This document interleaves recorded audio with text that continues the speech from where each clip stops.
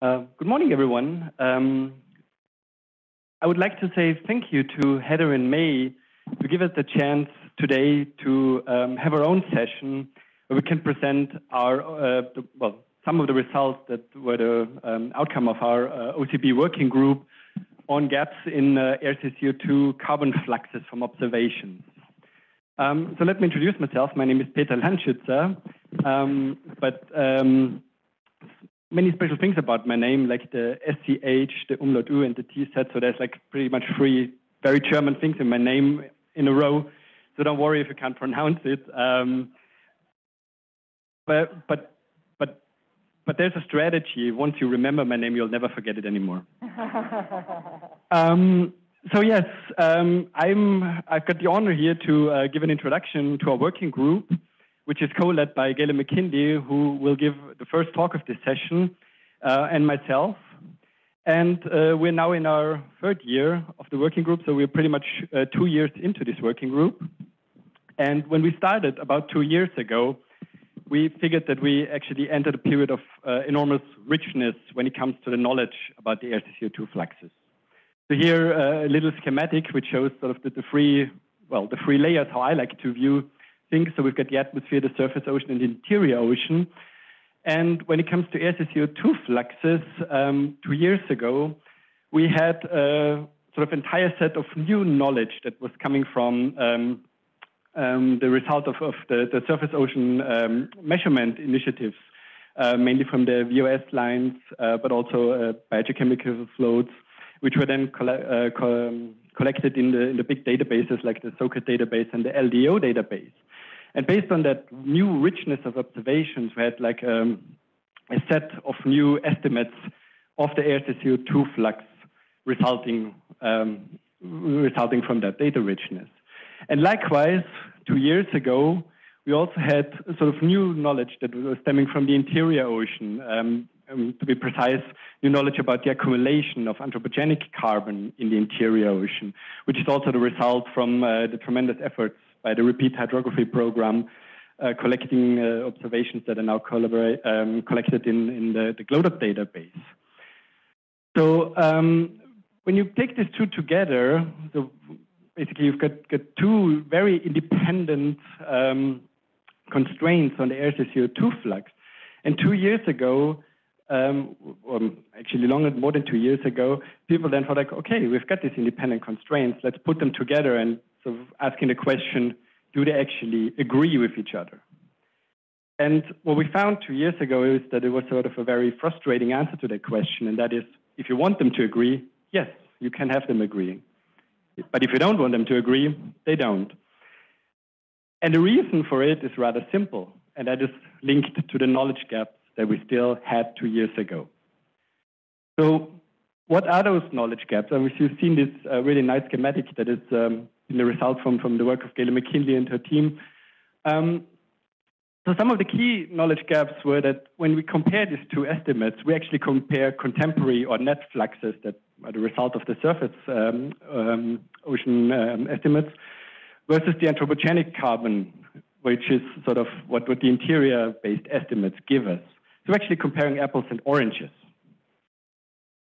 Furthermore, we noticed that we actually have incomplete area coverages. So even though we're sort of talking about air CO2 fluxes from sort of the surface measurement network, we do still ignore coastal systems, marginal seas, and they also contribute. We also uh, have noticed that we have still substantial data sparsity in some ocean regions, particularly the Southern Ocean, and we still today don't know quite yet how they do influence the um, SCO2 flux variations, particularly on longer time scales. Okay, so the, the purpose of this working group was then to bring together the experts from all these different fields. So those who do ocean, uh, open ocean, um, uh, surface ocean, surface open ocean based air to CO2 fluxes, those who work on the coastal oceans, those who work on sort of new um, new measurements in data, data sparse regions like the Southern Ocean, and uh, sort of also bring the model expertise with the data expertise together and then sort of find ways how to address these knowledge gaps. And I'm really happy that today in this session we will have a few talks dealing exactly with how to close these gaps. So um, this is where I would like to stop, and I would, would um, yeah, wish you a um, pleasant session and um, hope you've got good questions for our speakers. Thank you very much.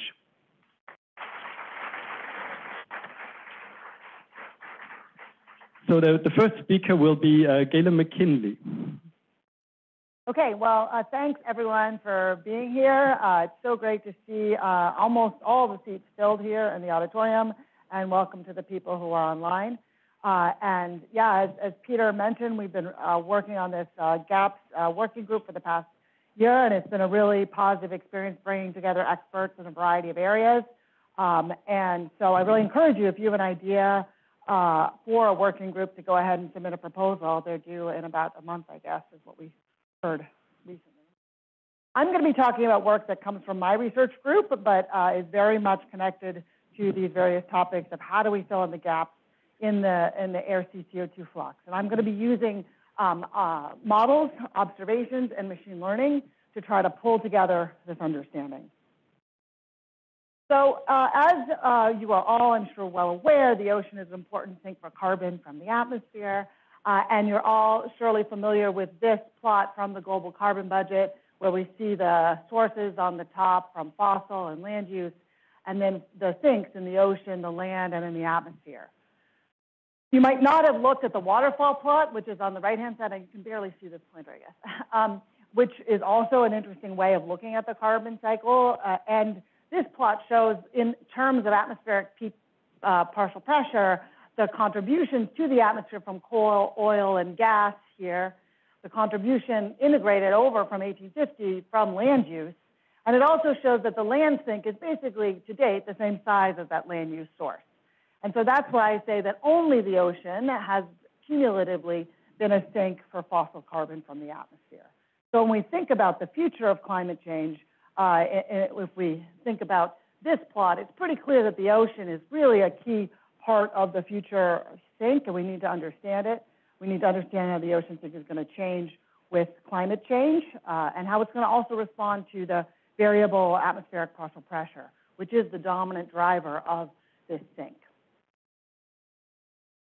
And as, uh, as Peter showed you, when we think about the ocean carbon sink, we really need to be careful to make sure we're, what we're defining here, right? So we have both uh, we have multiple different ways of thinking about the ocean carbon uh, sink. We have, uh, and the cycle. So the total carbon, what we observe at the surface, is the sum of the natural carbon cycle, which is the, um, the what existed in the pre-industrial, where we have the biological pump, we have the overturning circulation, we have this increasing carbon uh, from surface to depth, and of course the natural carbon cycle is by far the dominant uh, component of the carbon cycle.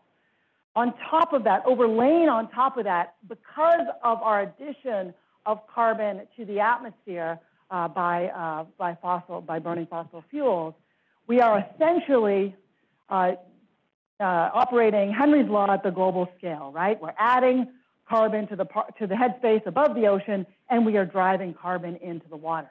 And that is the anthropogenic carbon sink. And that is, uh, of course, most of that carbon's at the surface, and uh, leading towards zero at depth. And so when we, uh, when we think about our cumulative understanding, sort of the Gruber et al. 2019 estimates of the total ocean carbon uptake, that's only this side. That has been purposely designed to remove all of the natural carbon cycle and focus only on that Henry's law part. But if we want to understand the variability in the ocean carbon sink, if we want to understand how that sink is proceeding on a year-to-year basis, we need to look through uh, uh, the, uh, we need to see both the anthropogenic and the natural part to see this total carbon cycle, the combined effect of all this variability. So here is a plot from the uh, global carbon budget, now with the sink pointing upwards here. Um, and this begins to show you some of the key things that I want to be talking about in this, in this talk. Uh, and that is some of the remaining discrepancies between the two main ways that we're estimating the ocean carbon sink and that is in the lighter green, which I know is a little hard to see, but those, these are the ones on top. The lighter green are database products, mostly uh, machine learning-based products, extrapolating sparse PCO2 data, and ocean models shown in the darker green here. For the first time uh, in the last global carbon budget release, the main estimate for the ocean sink used both the ocean models and the data products. Prior to that, it was exclusively the average of the ocean models. But this solid line here and the most recent release of the global carbon budget is the average between this, this, uh, the mean of the product and the mean of the models. The dashed line before is based only on the models uh, because that's all that's been available to date uh, for um, prior to about 1990. So, but, but, so this is one of the problems I want to work on. I want to develop a data product from 1959 uh, through present, uh, database product. So that's one of the things I'm going to try to show you today. And another is to try to begin to address some of this divergence between the models and the products that seems to be becoming increasingly evident uh, after about 2005. Is that a real signal? Is it methodological? Uh, and I'm going to propose that there's a strong methodological component to it in the machine learning based products. Okay, so but before I get into that, I just want to make sure everyone's on the same page about what I mean when I say the biogeochemical models versus the products. So the ocean biogeochemical models are, um, my animation might not work. Uh, um, oh well, uh, are uh, um, ocean biogeochemical models are you know, three-dimensional um, uh, models of the circulation, uh, physics of the ocean, forced by reanalysis meteorology, trying to represent what the real ocean did for the last 30, 40, 50 years or so. And into those physical, that physical model, we've coupled uh, the, the equations that give us some representation of the biological pump and uh, carbon chemistry. Uh, and so, so these are the, the kinds of models that have been, like I said, until last year, the sole basis for the global carbon budget estimates. Um, and typically, the, there's like five or, somewhere between five to nine models that have been used in the global carbon budget. It's a group of people every year who update their models to contribute to the global carbon budget. The products are derived from ocean PCO2 data. Okay, so in order to understand the, the air sea CO2 flux, we need to map the surface ocean PCO2, and, and since that is what sets uh, the pattern of the flux. So where the PCO2 is higher than atmospheric, the carbon is fluxed out of the ocean, and where the PCO2 of the ocean is lower than the atmosphere, the carbon is fluxed in. So negative is into the ocean uh, in my um, uh, uh, uh, sign convention here. So what are the data on which we build these maps? This is a 30-year average uh, map. Well, that's the SOCAT data. This is the 2021 release. The 2022 came out just last week. Um, and these are all the data that have been submitted to SOCAT. SOCAT is an amazing effort by a group of international uh, collaborators, some of whom are here, who work really hard to collect data on volunteer observing ships and on research ships and pull it together into a quality controlled database. It's a huge effort uh, and really, really uh, critical. Um, this is all the data in the SOCAT, so you can see where it is. From this map, you can see that there are some main uh, big areas that are undersampled. But unfortunately, this is not really what the map looks like. This is more what the map looks like, okay? What we, we in fact, the data is incredibly sparse, right? And this is one month, right? We want monthly maps so we can map out the interannual variability over the decades. And in fact, what we have is about 1.5% uh, coverage over the last 30 years. A few ship transects in each basin uh, in each month. How do you fill in the gaps? How do you do that? Well, luckily, um, we have full coverage data such as chlorophyll and SST from satellite, and these data are related to PCO2. Okay, so we do have um, we do have data sets that are full coverage or approximately full coverage that are connected. And people have realized in the last decade that we can build statistical algorithms based on the points where we have PCO2 data and these uh, complementary or driver data that, is, that are full coverage, we can build statistical algorithms, particularly mostly using machine learning. Um, so you, you train your algorithm based on where all the data exists. Then you have an algorithm with which you can predict PCO2 at all points based on your full coverage driver data. And from that, you can calculate the flux from the PCO2. And um, so how do these, the models that I said before, and these PCO2 products compare? So here is uh, my plot of that. We have uh, the GCB models, the global carbon budget models from the previous round. Those are in green. And the blue are the um, uh, uh, uh six products. Uh, and here we're using the SeaFlux product that was published last year by Amanda Fay, Luke Gregor, and others, which attempts to address some of the coastal filling issues and different wind speeds and try to make sure all the, all the, um, all the ancillary parts of going from a PCO2 map to CO2 flux are addressed properly so that really the only difference between the products are the PCO2 mapping itself. And so what you can see is, first of all, we have a good deal of agreement between these different approaches, which I would say is a huge success for our community. There's a lot of agreement in terms of the fact that there was a big increase in the ocean carbon sink, for example, in uh, 1991. I'm happy to talk about that with you at my poster today, where we uh, attribute that to the eruption of Mount Pinatubo. Uh, and um, then after that effect of Mount Pinatubo, we had very limited uh, growth in the ocean carbon sink over the 1990s, or even a, maybe a decline. And then after 2000, a strong recovery. Now, the magnitude of the recovery is stronger in the products than in the models, so that's this divergence that we still need to understand. Is that methodological? Is that real? Um, and we're still, you know, not everyone agrees with me that this is Mount Pen effect of Mount Pinatubo, so we're still trying to understand this, particularly this 1990 slowdown, where and how that worked, the role of the Southern Ocean. But, but we have a lot of agreement, so that's positive, but we still have this divergence, and we have a lot of spread in the ocean model. So uh, what I want to try to convince you of today is that the air sea CO2 flux mean and seasonality can be quite robustly reconstructed from this sparse data. Uh, I was quite skeptical of these products when they first came out, when Peter first published his product back almost a decade ago. But now I'm really quite convinced the mean and seasonality can, even though we only have 1.5% coverage, we can really do that. However, decadal variability appears to be overestimated. Regionally, the models diverge quite significantly from the, um, uh, from the reconstructed mean fluxes. So we have a pretty good data constraint now, but the models are diverging from it.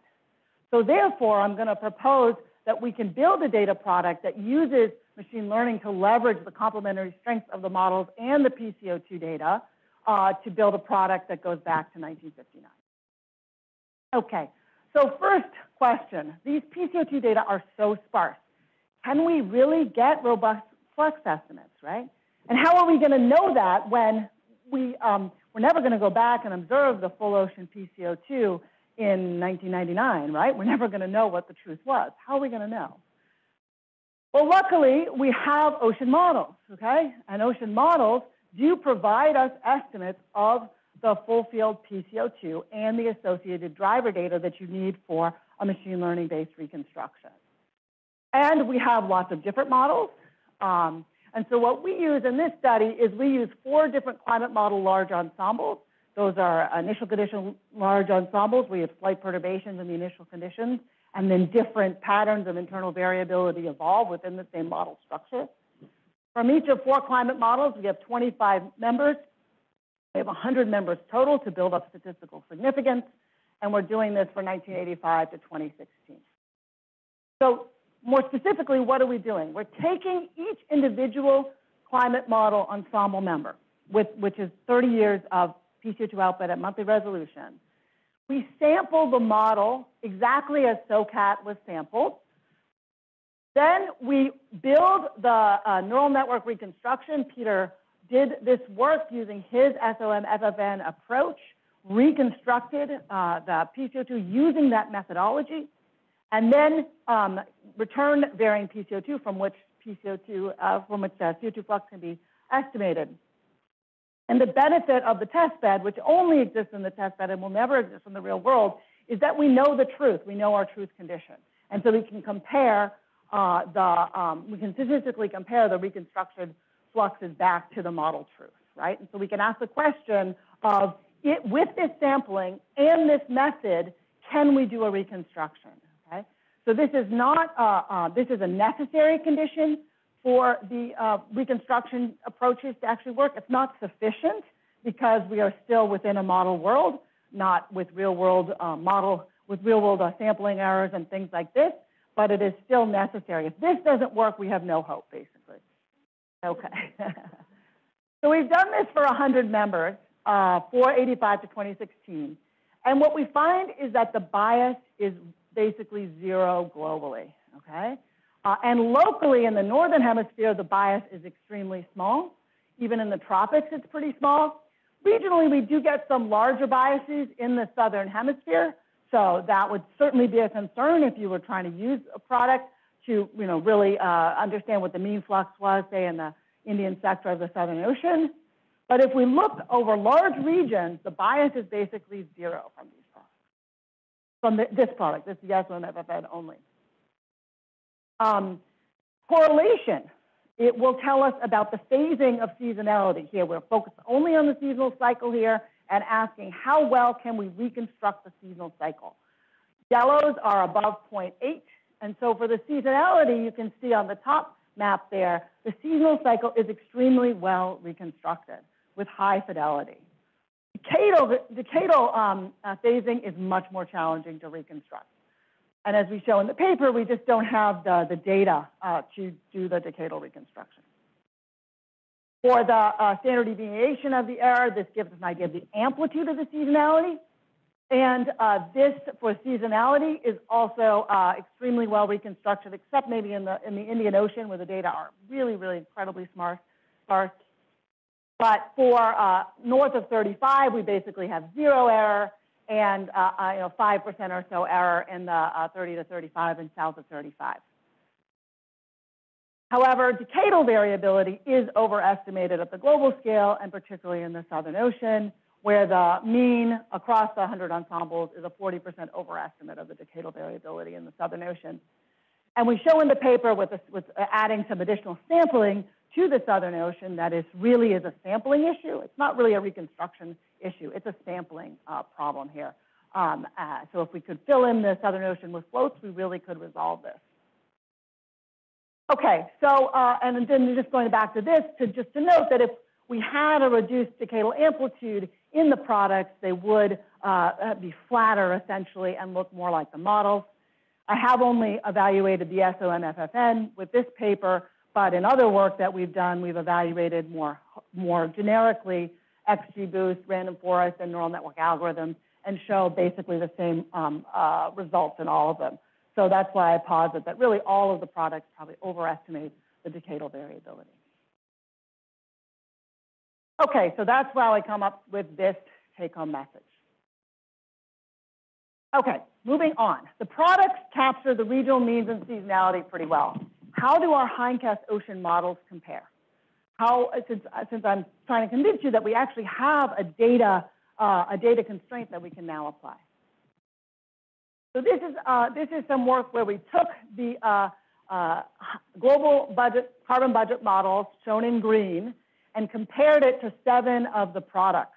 And we did this for the global on the bottom, but I want to focus here on these large uh, super biomes where we have the northern hemisphere high latitude northern hemisphere high latitude, northern hemisphere subtropics, equatorial, southern hemisphere subtropics, and southern hemisphere high latitude. Okay? So in each region, we have all of the products, the mean. We've added the riverine correction and its uncertainty uh, based on the one by one from, um, from Lacroix uh, distribution. And the big picture point is the products all agree very tightly in most of the regions. You can barely distinguish them from one from another in the northern hemisphere high latitudes or the northern hemisphere subtropics, in the equatorial. Very, very tight estimates from the products. They're all giving us the same result. But the models have this really wide spread, okay? Particularly if we look somewhere like the southern hemisphere subtropics or the southern hemisphere high latitudes. The models are outside. Um, uh, in fact, uh, two-thirds of the models are outside the three sigma of the products in at least one of the biomes. All right, so very, uh, so a big divergence in the model. I'm, I do not have time to show it today, uh, but the paper also documents some significant seasonal errors, particularly at high latitudes, and other papers have shown this, such as Precious Mongwe's work in 2014 uh, 18 in the Southern Ocean. So the models have significant mean biases and seasonal problems. So can we pull this together? If our ocean models have substantial mean and seasonal errors, and our products, however, capture the mean and seasonality, I'm going to propose a hybrid approach in which we pull together the strengths of the models and the data products to give an estimate uh, of the CO2 flux, uh, the, the, variability, and monthly one by one uh, from 59 to 2020. Okay, so this is the LDO hybrid physics data approach, uh, where we're using both ocean biogeochemical models and the SOCAT data and full field driver data. Essentially what we're doing is we're taking a prior, uh, which is the PCO2 uh, uh, from eight ocean models. So it's a monthly field of PCO2 for each month uh, from the model. The target variable for the machine learning-based reconstruction is not the PCO2 itself, but it is the misfit. We're saying how off is the model wherever we have SOCAT data. That's what we're uh, trying to get the machine learning to learn that relationship so that then we can predict it at every point, uh, and every point in space and time. So an XGBoost algorithm gives us a full field misfit based on the driver data. And then the final estimate is the sum across eight models of the original model plus the misfit. Okay? Happy to talk to you about the details there, but essentially it's a statistical algorithm to correct the models. Okay? So here are some full coverage misfits that I wanted to make the point that these are individual for each of the models and each month. Okay, so this is the average JJA, the average DJF, just for the MPI and CNRM is two example models. And you can see, for example, MPI needs huge corrections in the Southern Ocean, uh, a different sign, of course, uh, that's, that's a seasonality correction, while CNRM needs the opposite signs and much smaller corrections in the Southern Ocean. Okay, so models have very different um, fields uh, of correction that are needed. And I'll just make the side point that actually these fields themselves can be useful input to the model development process because it points to the modeler, oh, it's not just that you have one little point in SOCAT that's wrong, you know, that's off from SOCAT, but we have a full field understanding of how the model is diverging. Anyway, so different for each model. However, we find that the climatological misfits in all cases are much larger than the interannual misfits, okay? So this is the Princeton model, uh, and the comparison uh, I'm showing you is the climatological misfits in the Princeton model on the top, and the standard deviation of across the years on the bottom, okay? So this is negative 100 to 100 range, and this is only 0 to 25. So the point is that climatologically, the models need big corrections, but they don't need such huge interannual corrections. Mostly across the ocean, it's under five microatmospheres. So therefore, we say, well, if the climatology is most of the answer, what if we only correct the models with that climatology? How close to uh, independent uh, uh, validation data can we get in that case?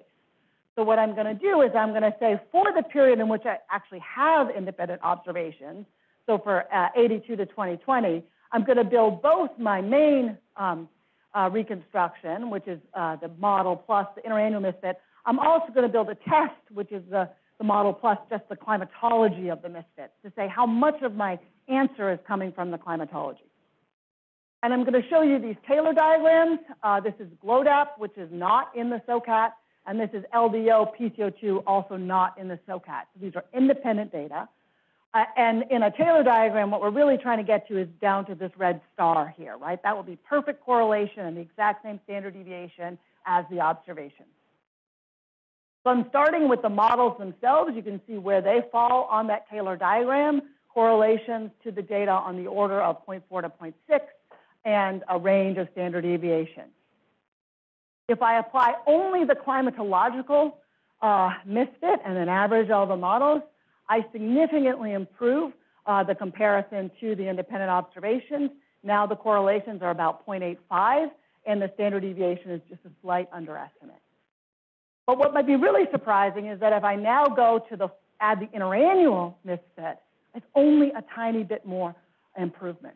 Okay, against GLODAP, uh, it's really uh, really minor. Against LDO, it's a bit better. Uh, but essentially all of my gain has come from the climatology. And if I compare to the other uh, products here, I find that the resulting, when I do add the interannual variability, it's as good as any of the other ones. And even with that climatological correction, it's uh, better than some of the other products that are out there. So because of this, I am motivated to then apply that climatological misfit, recognizing that it's not probably the full truth, but it is at least much of the truth. I'm, I'm motivated to apply that in the pre-observed period from 59 to 82, and then carry on with my interannual misfit following that. And so this is the final result. Uh, the dark blue line is our data-based estimate of the air CO2 flux variability from 59 to, um, to 2020.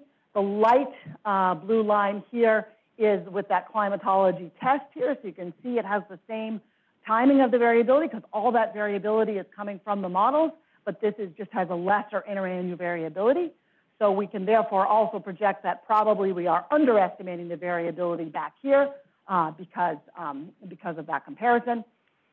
I've also put on here the very uh, recently published Jena MLS extension back to 59 that has a, a, a bigger trend, uh, but uh, very, very much the same variability. So therefore, uh, we now have, uh, as some of the progress we made in the past couple of years, is we now have estimates of the air-sea CO2 flux variability from 59 to 2020. And also, if you look closely here, these new estimates don't diverge quite so much in the end state, although I would say that divergence is something that we still do need to keep working on. So uh, that is the, uh, my take-home messages, and the clock says zero, so I'm probably over time. But thank you, everyone. I'd be happy to take your questions.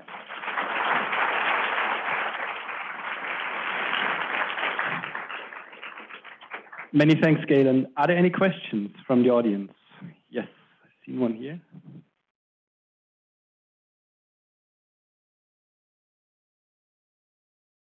Thank you, Galen. That was a, a great talk.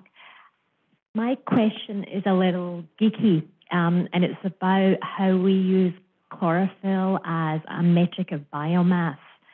Um, there have been a good few studies especially in the northwest Atlantic, where it's strongly suggested that as we transition from a diatom large cell um, dominated assemblage into the summer uh, small cell assemblage, that chlorophyll no longer becomes a very accurate um, proxy for biomass, but yet those tiny cells, which re represent less than one milligram per meter cubed, of chlorophyll, they're still very busy drawing down carbon dioxide. Um, I just wonder how that factors into that, that global picture that, that, that you gave us. Yeah, well, not uh, uh, not uh, explicitly, of course, but I guess what we're hoping is that the statistical relationship uh, developed would, uh, you know, be able to adjust to the summertime what the chlorophyll is versus the um, versus you know the the uh, shoulder seasons when it might be more diatom dominated.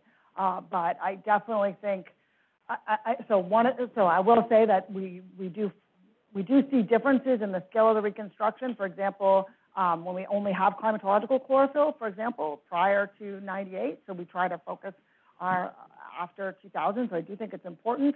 But whether if we use the biomass proxy versus chlorophyll, it's not something we've tried. I don't know if something is something Peter's tried.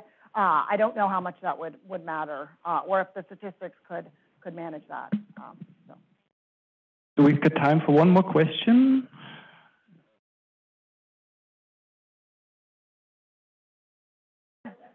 Spin the wheel, maybe. Spin the wheel. so we'll just, just for the others, we'll have a discussion discussion session at the end. So keep your questions. You can ask them later if you don't have time now. Hi, Galen. Uh, fantastic talk there. Um, I have a quick question, which is that were you able to attribute the variance in the model spread for the individual models used in the PCO2 um, model constructions to any particular differences within the model physics or ecosystems or anything along those lines? And could you use, you know, these results in order to inform um, model improvements and infrastructure changes in the future? Yeah, so uh, we have not done that yet, uh, but the fact that the uh, correction structures are so uh, climatological primarily. Uh, suggests that it is kind of underlying issues in the circulation biology of the models, right? Uh, and we are going to be working on that, particularly with the CESM model in the coming years. Uh, and we're talking to the other hindcast model developers about how they make, make use of the model field. So I, I hope it becomes useful. Uh, I think there's a lot of opportunity there. But I, but yes, let's let's work on that together. Happy to talk more. Thank you very much. Um, let's thank Galen again for a great talk.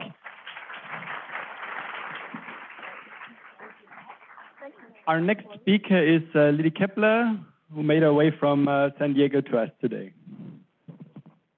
Oh yeah, hi everyone. Uh, it's really nice to be here and to see you all, and also hello to everyone who's here online today. Uh, so my name is Lydi Keppler. I'm a postdoc at Scripps in San Diego, the traditional land of the Kumeyaay people.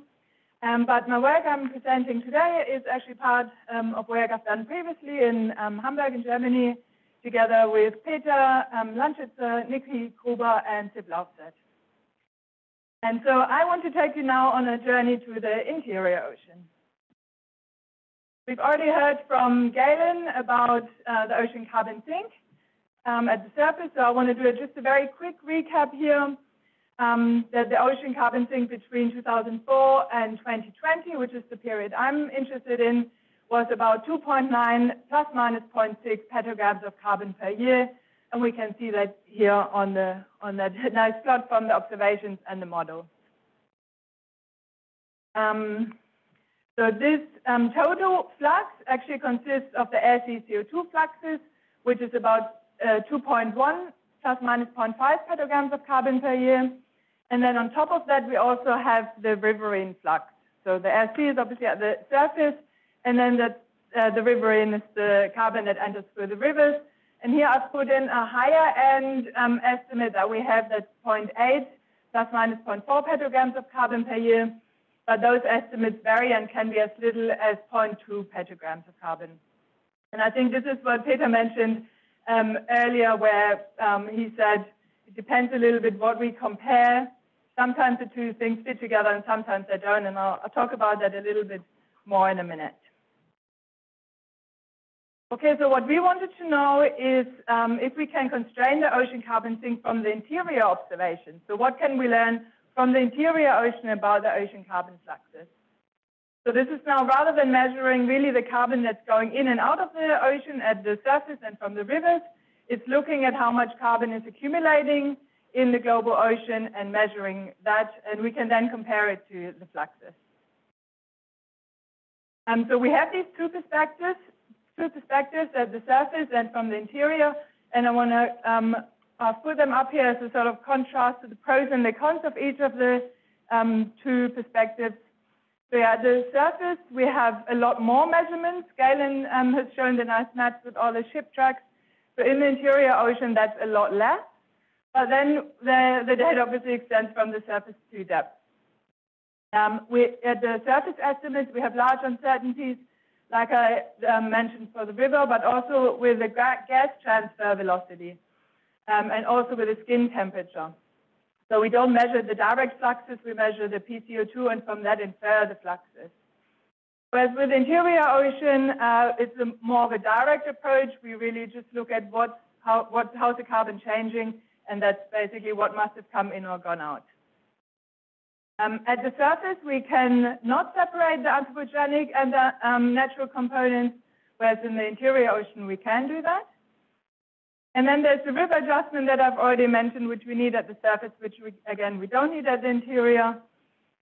And then over the last sort of decade, I would say, there's been a lot of studies that have come out um, about the um, surface perspective, and there's a lot left still that's been done at the interior ocean.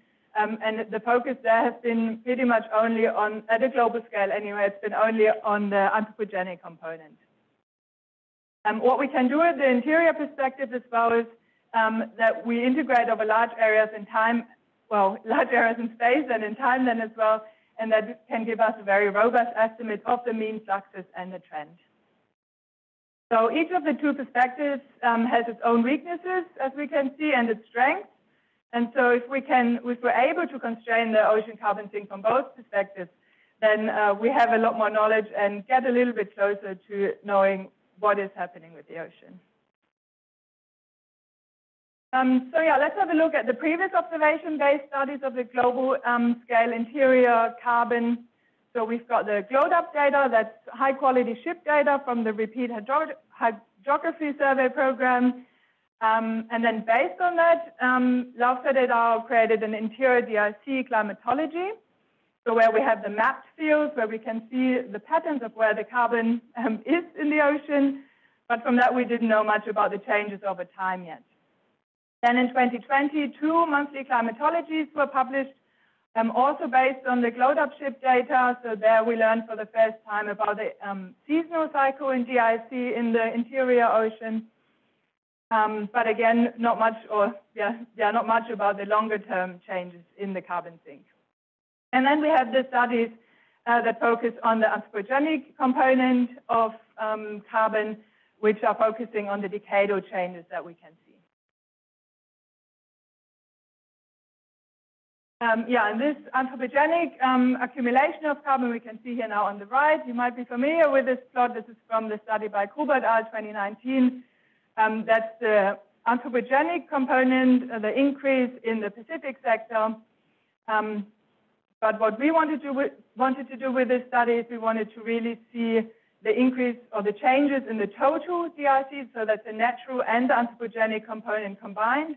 And we want to do this at a global scale. So we wanted these time-varying interannual mapped fields of the total DIC. Um, Sorry, there's a bit of a formatting problem, but that's okay. you can see it, okay. Um, so we created these mapped observation-based fields of oceanic dissolved inorganic carbon, or short MOBODIC. And so we used the GLODAP data, which you can see on the top left, yeah, on the top. Um, so we can see already there's a lot less data than at the surface in SOCAT. But then this is, um, these are repeat hydrography sections. So um, at the same lines, we have multiple observations over the years. But yeah, there are very large gaps in time and in space. Uh, we then um, adapted a cluster regression approach to create these mapped fields. And this is an adaptation of the SOM-FFN method. So this is one of the um, uh, machine learning approaches that Galen mentioned that have been developed at the surface, and we adapted this now for the interior ocean to create these yeah, mapped fields of interior DIC. And uh, this is a big step up from the past methods that were only able to constrain the anthropogenic component um, part of this uptake. So the first um, thing that we did is we created a monthly climatology of um, MOBODIC, um, but I'm actually focusing on um, this new and upcoming data set that we've created, which resolves these interannually varying fields. Um, you can see the spatial resolution on the on the map, um, and it extends to 1,500 meter steps. And um, as I mentioned, it's based on this cluster regression approach. So we use um, as input parameters temperature and salinity from Argo, and then um, nitrate, silicic acid, dissolved oxygen, as well as time and atmospheric PCO2, as they're all predictors that we use together with the GLODAP DIC data to create these mapped fields. Now, um, I feel the, the maps uh, look quite pretty, but we don't know yet um, how, how much we can trust these. So we've done a lot of comparison with independent data. And I um, want to show this here, what it looks like in the Southern Ocean. Um, I've um, divided the region here in those three regions, marked in green, purple, and orange, and we're then looking at it at 10, 100, and 1,000 meters. Um, and these are now, um, we're comparing this here with data with, from the SOCCOM floats, uh, so Argo floats with um, biogeochemical sensors in the Southern Ocean. And basically what we can see in the solid line is the mean from the Argo floats, and then the dashed line is um, our MOBODIC estimate of the DIC at the time and of, of the location of the SOCCOM float. And that's the dashed line.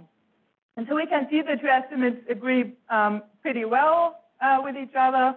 If you look at it, uh, the root mean squared error is about 14 micromoles per kilo in all of the subregions, and the bias is between 3 and 8. Um, overall, the uncertainty of the data product is about 18 micromoles per kilo, so it is within the uncertainty. And so it's quite an encouraging sign that the me method uh, generalizes quite well.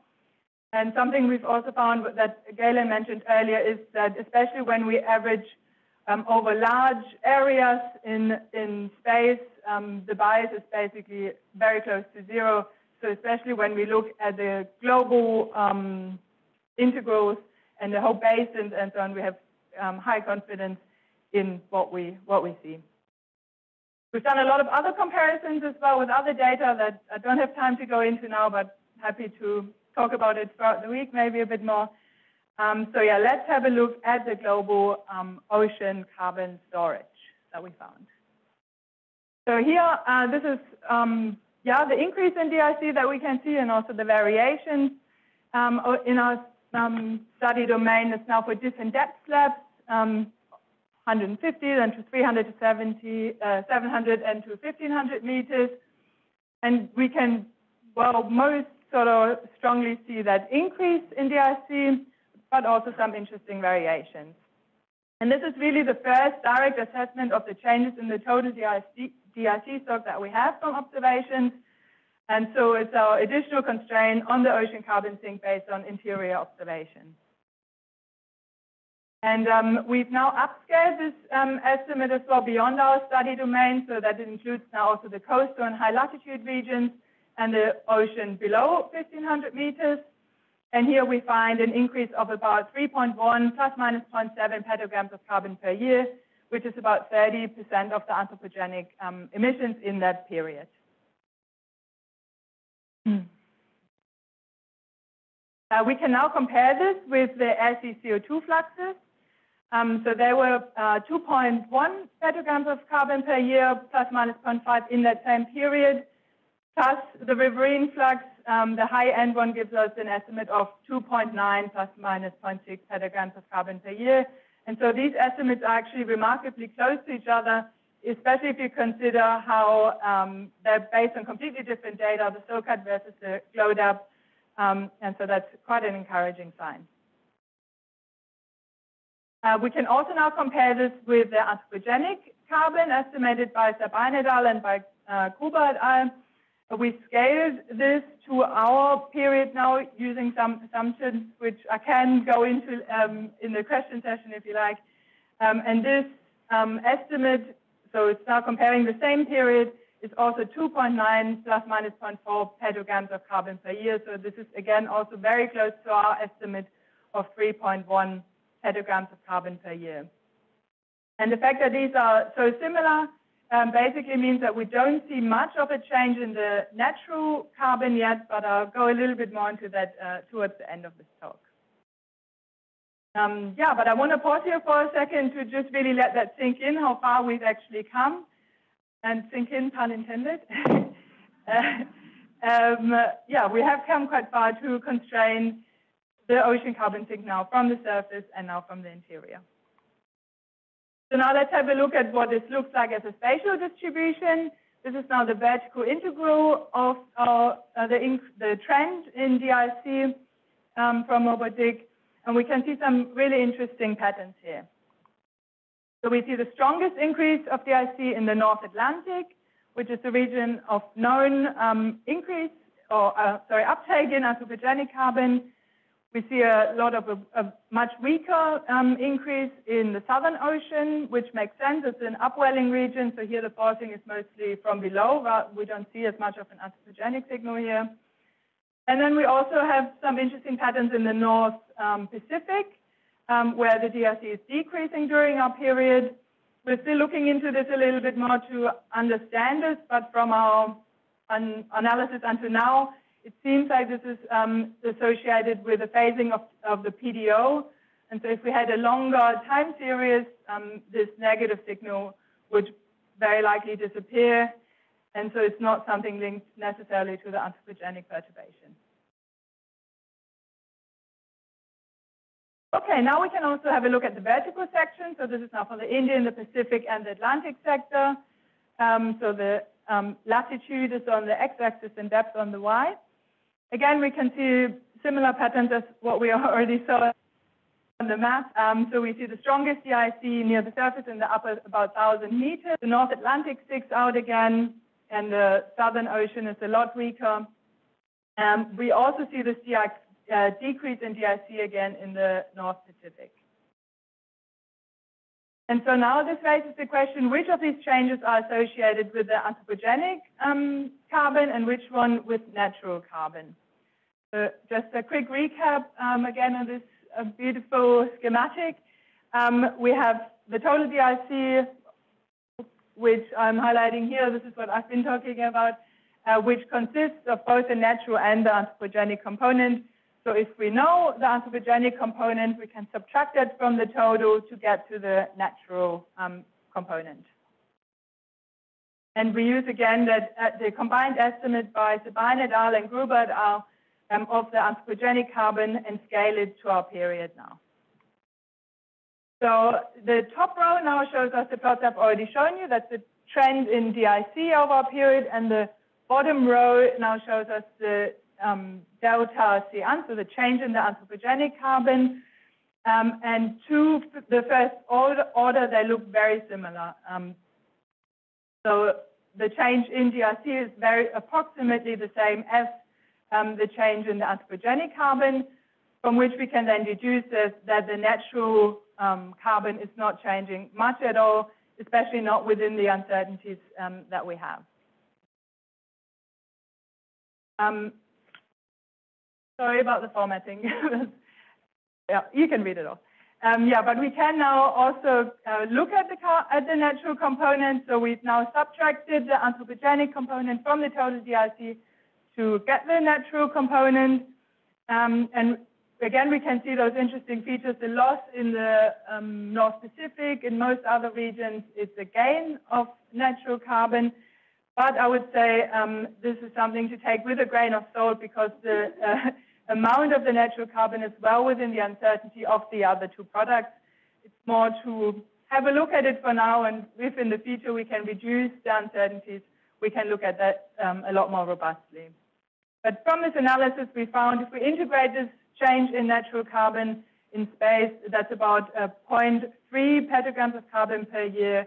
But yeah, the uncertainties are about 0.7 for, for Moby Dick, and I think 0.3 per year um, for the CN estimate. Um, we do the same now here for the vertical sections.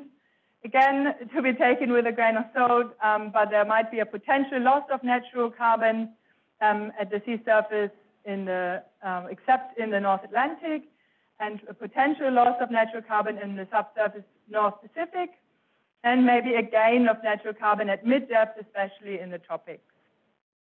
And so this might be explained by this vertical redistribution and um, an upward transport of natural carbon. But yeah, as I said, this is something we can hopefully constrain with a bit more certainty later, further on into the future.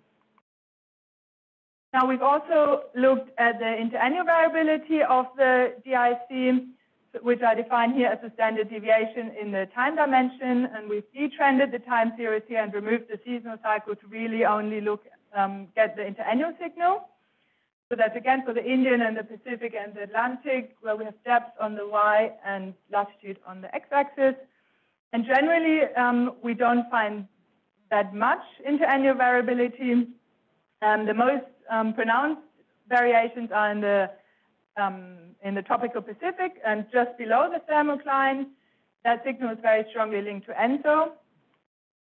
Um, and in the Southern Ocean, we have actually very little interannual variability, very close to zero, which was a bit of a surprise because we know from the surface fluxes that we have a lot of variation there. So yeah, that discussion is to be continued, I guess. So now what does this all mean for closing the gaps in the observation-based estimates of the air-sea carbon fluxes? Uh, so we now have the mapped observation-based estimates of the oceanic DIC, the Moby Dick, at monthly resolution from 2004 to 2020. And I should mention with now, this is still work in progress. We're hoping to submit this soon. Uh, we can now direct assess the changes in the total DIC stock. And as I said, this is the first time that we can do this from based on observational estimates.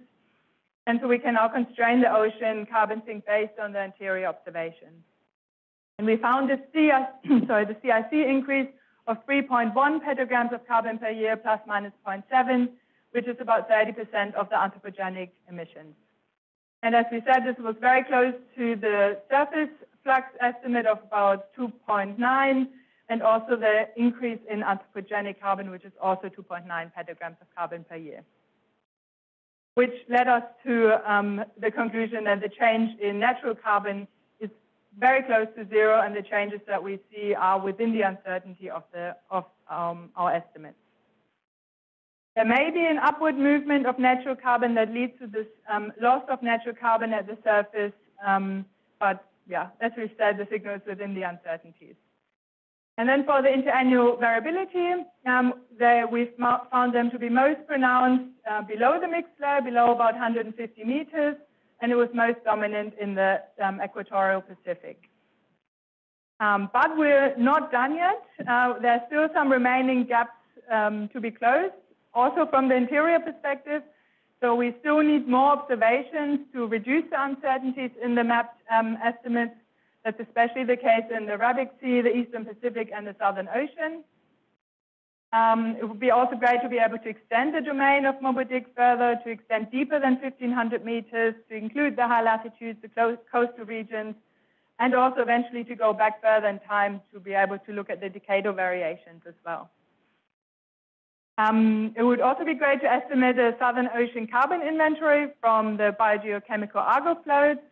Um, so MOBO-DIC only uses ship data for training, so this would be a, a great uh, project um, as well as part of SOCCOM, I guess.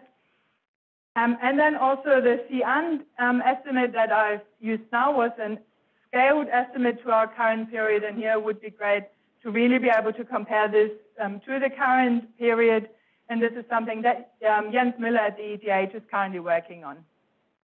And then eventually it would be also good to look at other carbonate system parameters like alkalinity and pH to really understand the whole carbon cycle as a whole system.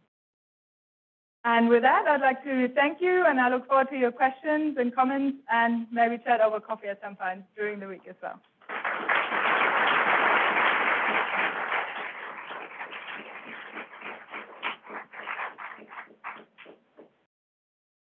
Thank you very much, Lydia. Are there any questions from the audience? Yeah, one hand up here. Thank you. Uh, great talk, also, uh, yeah, too. I, I have a question about this river flux thing. I understand river flux itself. Now, when we add the pre-industrial river flux to observe the observed net air-sea CO2 flux, get this anthropogenic CO2, I can envision that most of that river flux goes back to atmosphere in nearshore area. Now, when you compare that to your MOBO-DIC, that uh, anthropogenic CO2, that's open ocean, the deep ocean part. So I'm a little, I don't know, that just seems add more uneasiness to me to how we really compare things and, and match them up. Yeah. Uh, do you mean the fact that we're not um, thinking about river fluxes at all with, within MOBO-DIC? I don't know how much is really considered that, you know, how much of that river carbon really go out, why it was not directly measured in the air-sea flux, you know, how much is measured really, how much is missing, maybe not just for you really, for your team. I wonder if the surface um, community has knows more about this. Yeah, I'll just add to that. So basically, the, we have estimates of how much has moved into the open ocean and how much would be effluxing uh, across the, the globe based on model estimates of the distribution, right? So the idea is that the river, it's the, it's the carbon, the probably long-lived uh, DOC that's existing in the ocean and raising the PCO2 and causing an efflux. Uh, uh, every in the open ocean. So, those, but the estimates are very uncertain. So, yeah, that's uh, so it's the it's the it's how we get from the total carbon flux um, to the anthropogenic part from the surface. So, yeah, Ray will be talking about this, I believe, and so there'll be another talk in a uh, couple minutes. So, it's it's a yeah, okay. We'll we, we have another question over there. No, no, for people online.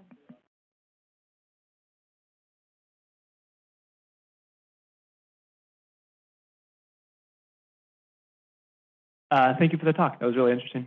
Uh, I'm curious, the uncertainty estimates, have you done kind of an observing system simulation experiment like the one Galen described, uh, sampling like a model uh, with a similar distribution? Yeah, good question. Um, we have done a comparison with synthetic data where we used um, the HAMOCC model, part of the MPI model, where we did a similar thing, but not with, a, uh, with an ensemble, um, just with one model, uh, where we did created synthetic data, um, ran our method to see how uh, well it worked. I don't think I've got an extra slide for that.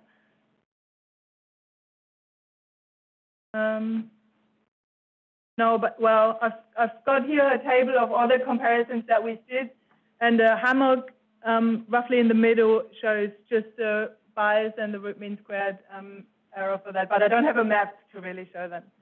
Yeah. Any more questions?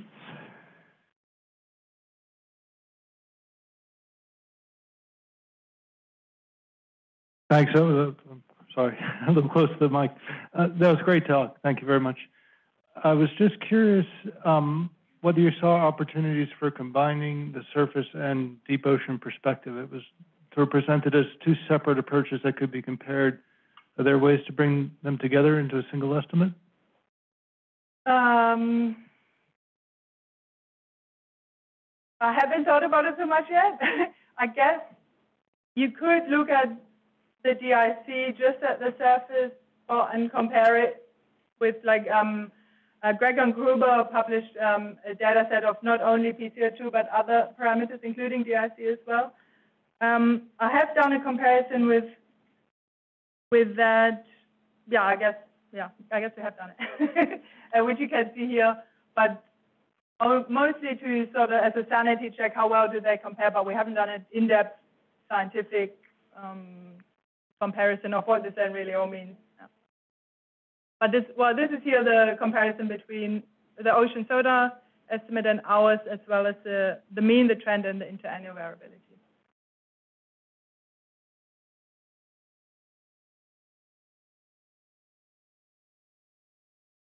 Hey, this question is from Andrew Dickson.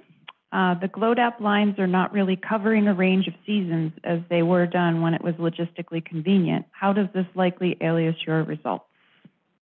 Can you say the last part of this question again? How does this? How does this likely alias your results? I think he means bias, bias yeah. your results. Um, so, well, the seasonal um, analysis, we well, in this analysis we pretty much smoothed out the seasonal um, cycle, but in our in our previous um, study where we really looked at the seasonal cycle, we did um, a lot of comparisons with um, yeah the SOCCOM flows and at HOT and at BATS and so on. Um, we found maybe nearly surprisingly that the seasonal cycle is represented really well because of how robust the relationship is between the predictor data and the DIC where we have it. So even in, maybe if I show the, um, if I show the uh, plot again from the SOCCOM comparison, here we can see this GLODAP data. There's in the Southern Ocean hardly any uh, wintertime observation that goes into MOBO-DIC, but in the surface we can really see the very pronounced um, um, seasonal cycle that we find from the SOCCOM flows as well that we see in MOBO-DIC. We have time for one quick question. Ah, yeah, Lynn?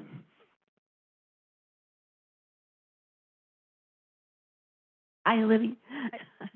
Um, question, as we're building um, global BGC Argo, um, we're now heading out to beyond the Southern Ocean, and maybe a question for everyone, um, are there areas that are especially sensitive that we should make sure we're not missing at the beginning. We're going to eventually be global, but it'd be great to have the discussion about um, what to focus on. Great. Yeah, thanks, Lynn. It's a great question. I think eventually it would also be good to use the biogeochemical flows as a combined estimate um, um, as well. Um, something I didn't actually mention as part of our method was is uh, that we run our method um, 15 times as a sort of bootstrapping approach, and we create an ensemble where the, we take the mean as our final estimate, and then the standard deviation um, across the mean gives us a prediction uncertainty, basically an estimate of how, where the method works, how well, and from that we, we can see on these maps a little bit where, um, where the highest uncertainty is. Um, so yeah, the Eastern Pacific and the Arabian Sea, as well as the North Pacific, really stand out here as regions. Um, the Southern Ocean always gets mentioned, but it's, yeah, in some regions, maybe the Southern Ocean as well. Okay, thank you very much. We've come to the end of the first part of this session.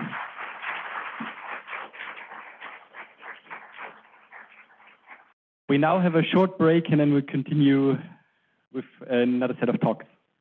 All right. Ray Najjar, Professor of Meteorology and Atmospheric Science at uh, Penn State University, to talk about uh, the land to ocean loops of carbon.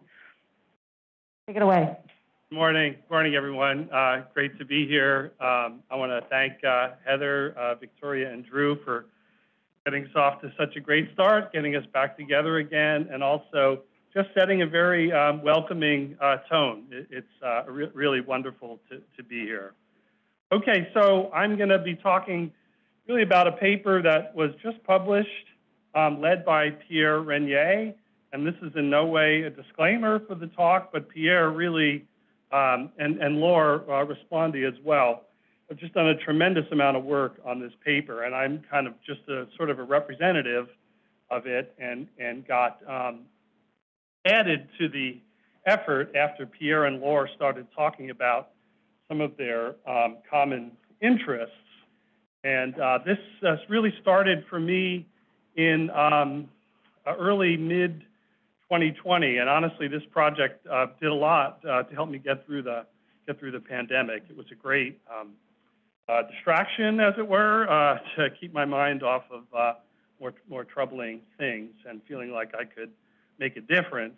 So, so we're going to be talking about something that's already come up in, in a few of the comments um, and, and, in the introduction by uh, Galen and Peter about this land to ocean transfer of carbon, which leads in part to um, uh, an outgassing of carbon dioxide uh, from the ocean. That's a natural uh, process. So that was one of the motivations of this study is to address this land to ocean carbon transfer, which is really a key component of the global carbon cycle. And of course, unites the land and the ocean, which are often studied in kind of separate, you know, by separate groups of scientists and uh, with their own techniques. And this sort of river uh, transfer is not um, uh, is not really uh, addressed very well. And in fact, just I'm using that word transfer. It's a lot more than that. There's a lot, whole lot that's going on between, say, the head of tide, which I would define.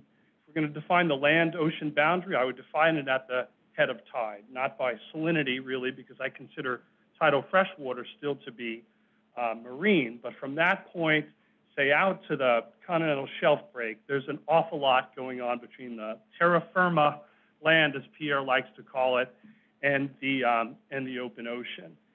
And uh, for a long time, uh, this uh, this um, uh, uh, carbon flux between these systems was used by various uh, groups, including uh, the Global Carbon Project and the IPCC, um, in their in their carbon budgeting exercises. And this value here, in a paper led by Andy Jacobson in 2007 of 0.45 petagrams of carbon per year, has has been used a lot, and it's sort of based on this kind of single pipe view that the rivers just kind of empty um, carbon into the open ocean. And of course, we know there's a lot more that goes on there, and there's going to be a, a session later um, in this meeting about uh, one aspect of that, the tidal wetland uh, carbon uh, exchange with, with estuaries and, and uh, subtidal waters. Um, so this value was recently uh, challenged by Laura uh, Resplandy in, in, a paper, and it was mentioned in, in um, Keppler's talk uh, recently, it's to be about 0.8 petagrams of carbon per year. So that's a pretty big difference. And these are, you know, this is a substantial amount of carbon that's moving. We're talking tenths of, of petagrams up to about a petagram, we're talking about a lot of carbon. We need to pay attention to this.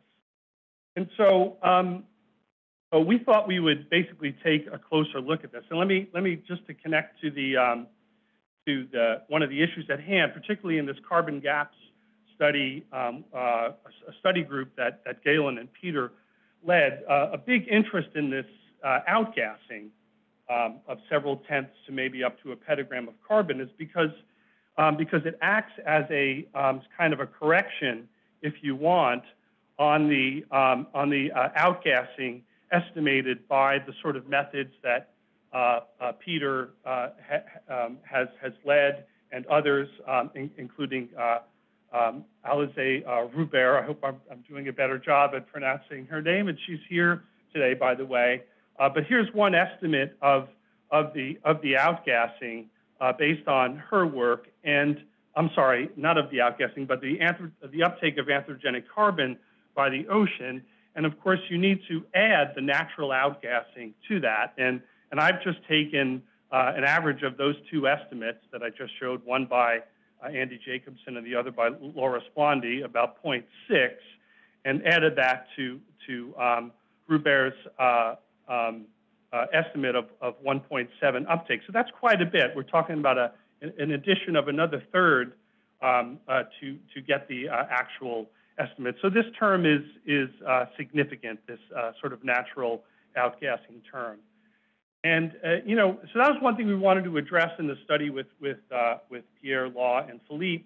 And in addition, we wanted to sort of review and synthesize um, uh, the fluxes that are, that are between the land and sea, particularly in this land-ocean aquatic continuum, and it goes all the way from, you know, headwaters um, out to the continental shelf break. And there's a lot going on here, and there's sort of two loops that are that are uh, that we'll get, get back to at some point. But this is the large loop that we were just talking about of several tenths of petagrams that are, you know, transported from the land to the ocean, outgassed by the ocean, and then taken up again by the land. And of course, there's a lot that goes on in between there, and we wanted to get a, get a better handle on what that was. So that was the main objective, to quantify with error estimates this land-to-ocean carbon transfer and the anthropogenic perturbation, right? Because it's easy for us to, it's relatively easy, it's a difficult problem to begin with, but relatively easy to figure out what's going on now.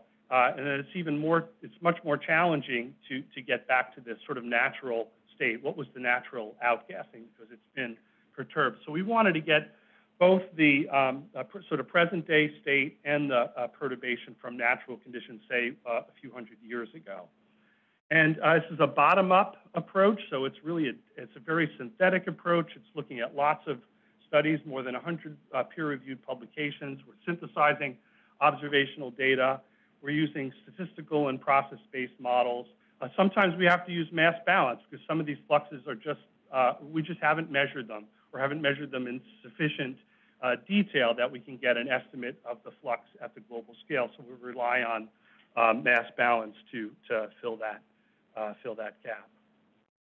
So the overall procedure is to estimate the modern flux, and it's sort of nominally 1990 to the present, but we'll zoom in on this 10-year period when we look at the uh, growth in atmospheric CO2 and fossil fuel emissions to try to put it in uh, uh, a modern perspective. Then we estimate the anthropogenic perturbation, and this is often, uh, uh, we're using models oftentimes to get this perturbation. Sometimes we're just using estimates of the change in area of a system, like tidal wetlands. We don't really know what they were doing. It's hard enough to know what they're doing now, but uh, to estimate what they were doing uh, 200 years ago, we have to sort of uh, estimate how much tidal wetland loss there has been for example. And then finally, to compute the pre-industrial flux, and that's when we get back to this natural um, outgassing.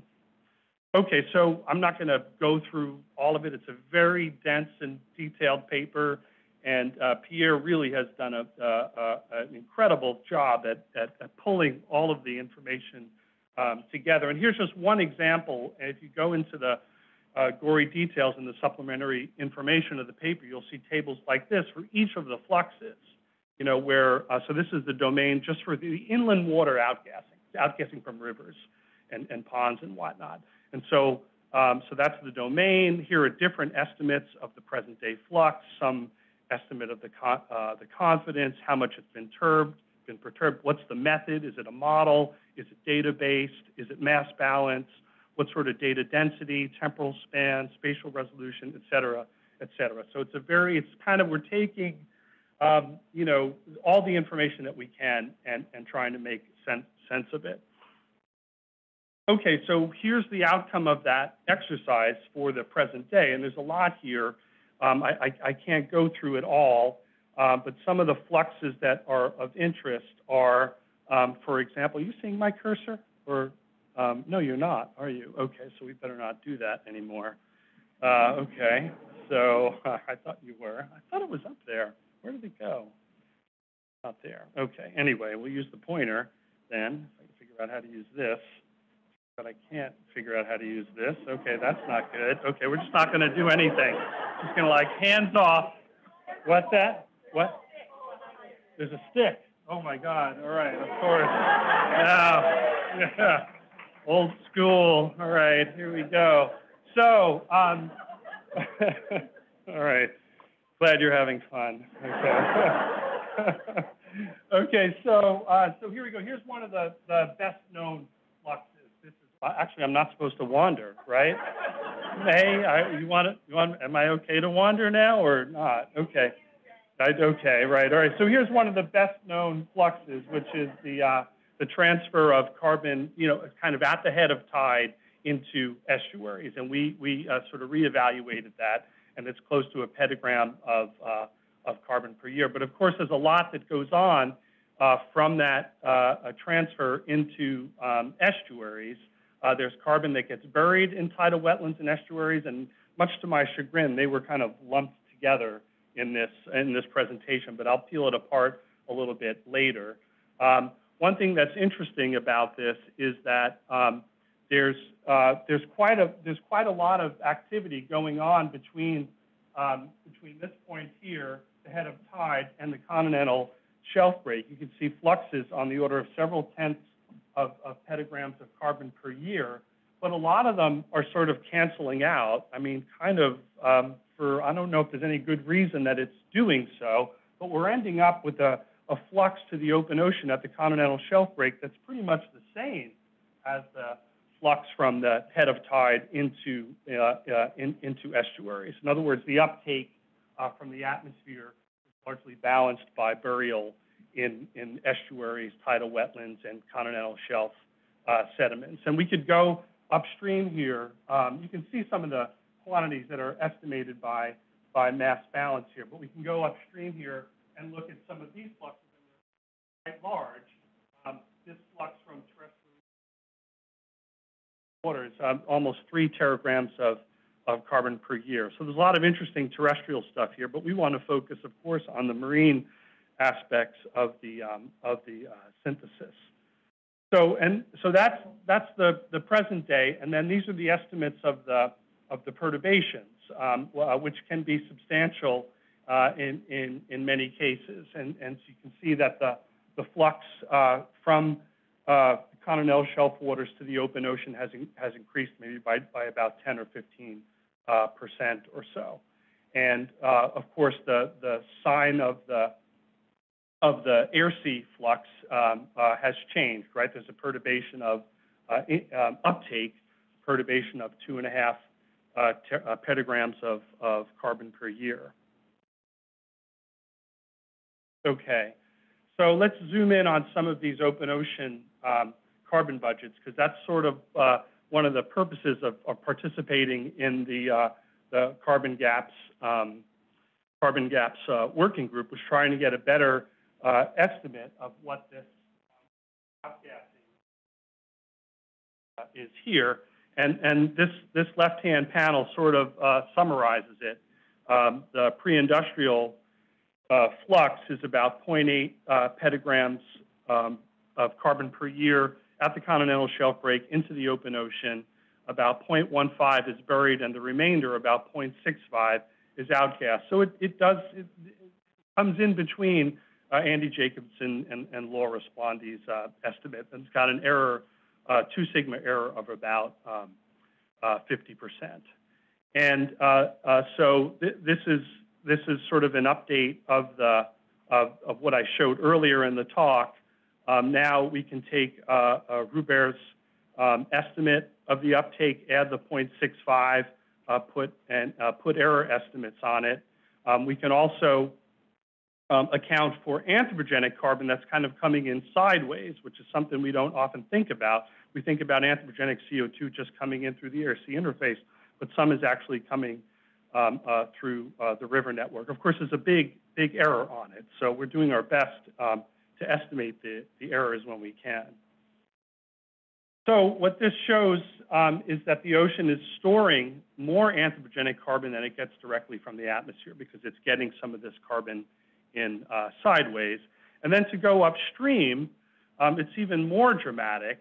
Um, the uh, terrestrial ecosystems uh, store less anthropogenic CO2 than they get directly from the atmosphere. So this is a big um, difference between the uptake, 2.3, and the storage, 1.7 we have this, um, you know, about 30% or so um, is being exported laterally to uh, to inland waters. So um, so then we can uh, take the uh, take the present day um, fluxes, the anthropogenic uh, perturbation, subtract the two to come up with the pre-industrial carbon cycle, and this is this is it in all of its um, glory. It's um, it's including some of these geological fluxes um, on the left uh, related to weathering. Uh, terrestrial ecosystems do take up a lot of carbon naturally from the atmosphere, almost two petagrams. A lot of that is just transferred to inland waters, and a lot of that is actually outgas. So that's what what uh, Pierre refers to as this upstream loop, uh, kind of recycling loop between the atmosphere, terrestrial ecosystems, and uh, inland waters but a, a substantial part, about not quite a petagram, gets transported uh, into um, uh, what I would call coastal waters, you know, at the head of tide, um, into estuaries. And um, uh, there's a, a, a, fair bit that's buried, right? But there's, there's also a fair bit that's taken up um, uh, from the atmosphere. And again, there's this kind of uh, constancy of this lateral transfer from the head of tide all the way out to the continental shelf break. So a lot of things are, are canceling out uh, to, to make that uh, flux relatively stable um, uh, to, the, to the open ocean. So we can zoom in on the, the pre-industrial coastal fluxes. I know there's going to be a whole session about this, um, particularly about um, the transfer of uh, carbon. Yeah, these arrows didn't, didn't come out right, so I'm going to step over here.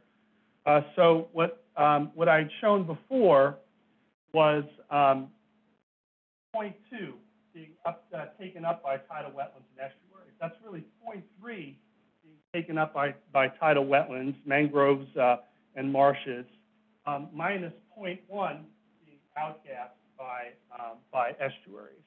And this is supposed to be a little arrow at the end of this here. And um, that is what the tidal wetland uh, sort of lateral flux is at the at the global scale. That's what we estimate the the out the outwelling, you know, um, Odum's uh, outwelling of carbon uh, from tidal wetlands to uh, estuaries. A big, you know, 50% error on it. Um, uh, so that's what. Uh, so that needs to sort of into the riverine flux. So we normally think of just the rivers sort of emptying carbon into the ocean, but it's also a lateral transfer from tidal wetlands, and here we're showing it to be about 20% uh, of the 20% um, of the, the total uh, total input. So that's uh, those are the main points. Looks like we'll have have some time uh, to to get caught up on the schedule here. The pre-industrial land to ocean carbon loop is 0.65 plus or minus 0.3 petagrams of carbon per year, and that's a two sigma error. That's what we estimate from our synthesis. And that loop is reinforced by two smaller loops, that upstream land to inland waters atmosphere loop, and then a downstream, uh, really this should be tidal wetlands. Thank you. Sorry, no, thank you. This should really be a um, uh, not just tidal wetlands, but um, uh, continental shelf waters as well, uh, because they take up uh, carbon naturally and uh, transfer that carbon to the um, to the open ocean. So that's the, sort of the downstream, um, uh, a, a, small downstream loop as well. And so ignoring these uh, lateral carbon transfers in the, in the land, land ocean aquatic continuum ends up overestimating the anthropogenic um, carbon uptake by land and us underestimating it uh, by the ocean. So that, uh, that will do it. Thanks very much for your uh, attention.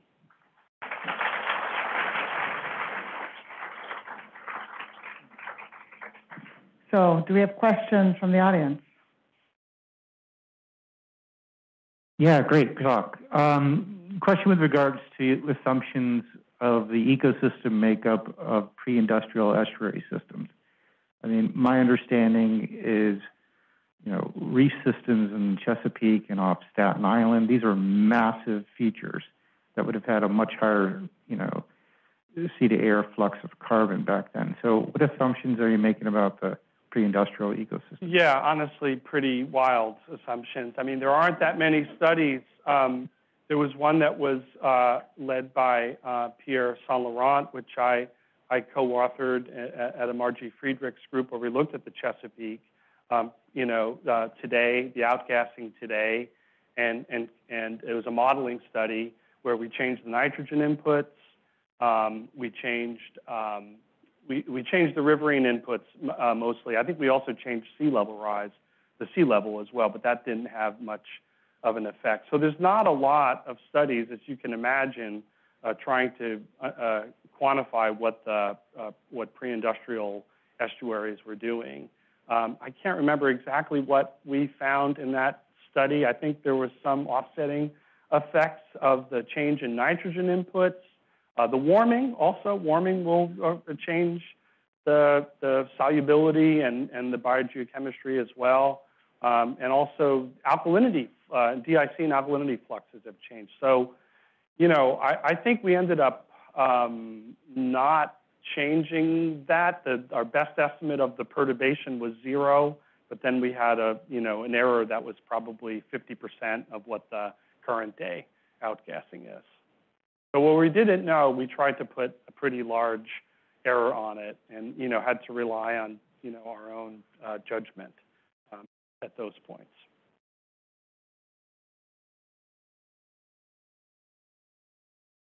Um, thanks. Oh, uh, Samantha Siedlecki from University of Connecticut. I was just great talk, Ray. Thank um, you, I, I, really appreciate that you're considering the um, organic side of things alongside the carbon budget important in coastal systems. Um, and I was wondering, you know, it's really challenging to like create these um, static views of yeah. systems that are so rapidly changing. Um, if you thought about how some of the arrows might be shifting in response to the rapid warming and the deoxygenation, which may exacerbate some of the processes important to these transfers, in particular of the organic side. Um, and I was wondering if you thought about that in this work and sort of to identify some places where we need to continue to monitor and keep our eyes on, right? Yeah, we've certainly thought about it. There hasn't much, there's not much we were able to, to do about it. There are some studies that, that take into account, like the one I mentioned earlier for the, for the estuary. There's been continental shelf um, uh, carbon cycle studies that have looked at, you know, compared pre-industrial times to present times with changing nutrient inputs. There have been studies on land that looked at how erosion has changed in response, you know, to, to human use, damming, things like damming, but also um, to the extent possible, changes in the climate. And I don't know to what extent those modeling studies would have captured, for example, changes in extreme events, you know, which we'll hear about. Another good thing we'll hear about um, uh, uh, later this week is about the variability. And, and our study, you know, you know, just barely scratches at the surface of some of these issues of, of variability, where I think, you know, single events can really dump a lot of carbon into the system, and it's hard uh, hard to, to capture in, in these sort of uh, global mass balance uh, studies. We really need, you know, kind of Earth system modeling framework that's got all of this in it, and you know, we bring to bear, just like we were hearing in the earlier talks, we bring to bear you know, combination of models and data to try to get at some of these issues that are, are not directly measurable.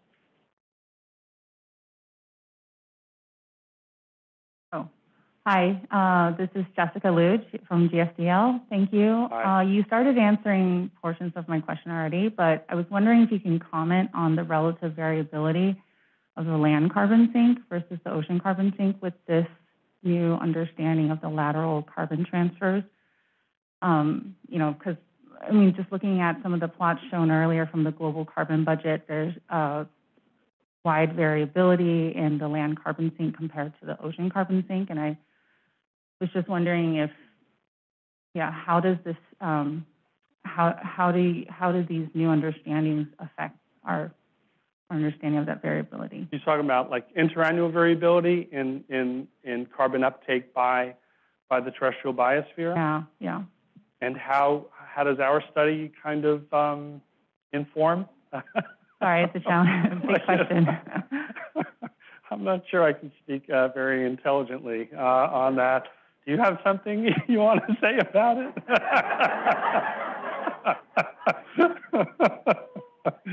I mean, I, I, I, I, guess what I would say, um, given the, the large flux from terrestrial systems to inland waters, I mean, it's really a massive flux. And um, it's also one of the fluxes, I, I didn't uh, uh, point it out in, in, in verbally, but it's also one of those fluxes that is quantified by mass balance.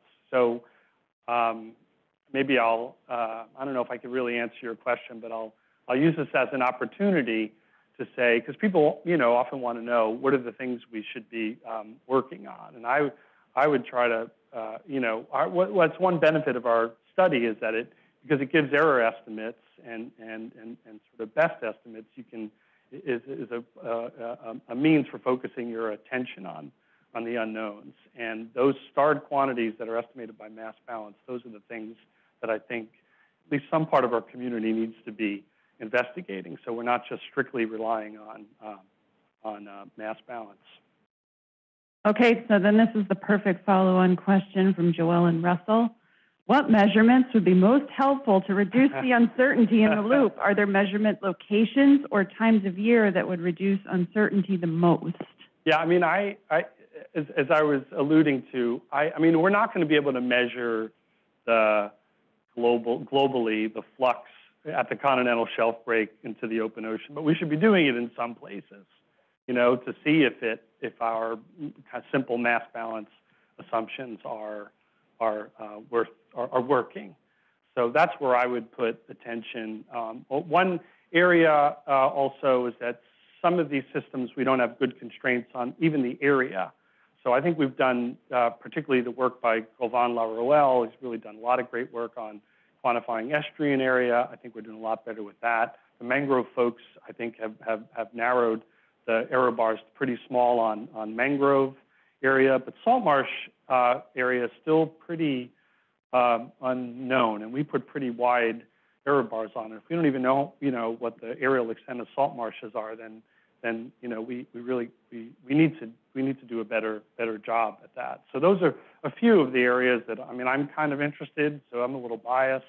Um, and this also this lateral flux for the you know this not this community necessarily, although some of you may, might be um, interested in it. Getting this lateral flux from terrestrial systems to inland waters. I mean it's three petagrams of carbon per year for Christ's sakes. It's like we've got to you know, and there are some measurements of it, and probably a lot more than I know about. But um, I still feel like it's a pretty poorly uh, constrained aspect of this land-ocean aquatic continuum. There's another question back there. Oh, uh, thank you. Uh, this is great talk, uh, Ray. Uh, Alec Wang from Hey, uh, Alec. Hawaii. Hi. we'll talk.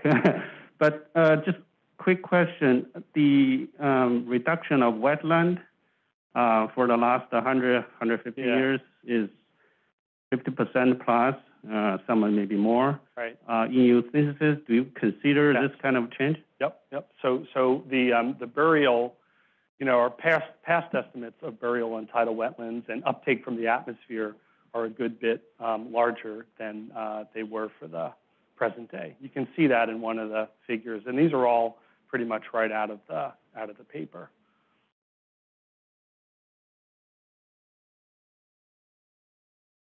Any additional questions?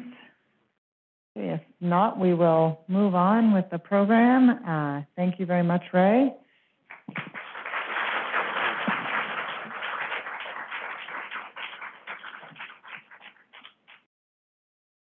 Okay, our next talk is uh, going to be by uh, Seth Bushinsky, who unfortunately at the last minute could not make the trip uh, and will be presenting virtually. So that will occur now. And Seth is from uh, University of Hawaii. Okay. Uh, well, thanks a lot for having me here. Uh, apologies for not being able to join in person. Really uh, looking forward to this meeting, and it's a shame, but appreciate everyone's flexibility and uh, willingness to hear a virtual presentation. So I'll be talking to you today about uh, some of what we've learned the ocean carbon sink from biogeochemical Argo floats. Um, just to give a, a brief outline, uh, I'm going to start off getting us all on the same page about what biogeochemical Argo floats are. I'll talk about how we can estimate PCO2 from float measured pH, talk some about past results, and then uh, look at some recent work and future thoughts. Okay, so here's our current distribution of uh, biogeochemical floats. This is highlighting oxygen, nitrate, and pH floats. Um, green dots for pH also typically have oxygen and nitrate, and floats that uh, are labeled nitrate also have oxygen. So there's a lot more oxygen than there are any other kind of observations. Um, we see a pretty Southern Ocean heavy uh, distribution, and that I will, um, uh, as I'll, I'll, focus on, the, that's largely due to the Southern Ocean Carbon Climate Observations and Modeling Project that has been deploying floats in the Southern Ocean uh, equipped with biogeochemical sensors since 2014. Uh, recently, uh, on the US side of things, the Global Ocean Biogeochemistry Arrays and NSF funded project to increase uh, biogeochemical float coverage and deploy about 500 floats over the next several years. Um, so there's been a lot of work uh, within the US. There's also a ton of international uh, participation. Um, a lot of the oxygen floats throughout the ocean have been uh, deployed by um, other countries and, uh, and starting to get into pH floats as well. So there's a whole lot of uh, working on going on right now. There's also, um, well, I guess uh, before we get into uh, the PCO2, this is what the floats typically do in the ocean. Um, each profile takes 10 days, spend most of their time at 1,000 meters depth before diving down to 2,000 meters and making measurements back up to the surface, sending data back uh, to land. Get measurements of oxygen, nitrate, and pH, as I mentioned. Also, uh, some floats, most have biooptics, uh, so fluorescence and backscatter, and now more and more are also measuring photosynthetically available radiation. So not all the floats being deployed have all six of these parameters, but uh, they are increasing in number. Okay, so today's session is focused on the ocean carbon sink. Uh, we can't get the carbonate system without two parameters, and we're only measuring pH. So what have we done? Well, uh, we can estimate PCO2 using the pH measurements and an alkalinity estimate. This is from a multiple linear regression. Um, for instance, the Carter-LIAR algor algorithms. And from the measured pH and alkalinity regressions, we can calculate an estimate of FCO2 and then PCO2. And so again, these are estimates, not measurements. They have a theoretical accuracy of around 11 microatmospheres. And if you compare that to shipboard measurements, uh, that the best ones have accuracy of around two to three microatmospheres. So we'll talk a bit about what we can do uh, from floats. So this talk, as I mentioned, is focused on air sea CO2 fluxes. We have lower accuracy than underway or moored observations, but we have good spatial and seasonal coverage. Um, I will not be talking about biological carbon export, which is another aspect of the ocean carbon sink. Um, but tomorrow there's a, another plenary uh, looking at our evolving understanding of the biological carbon export.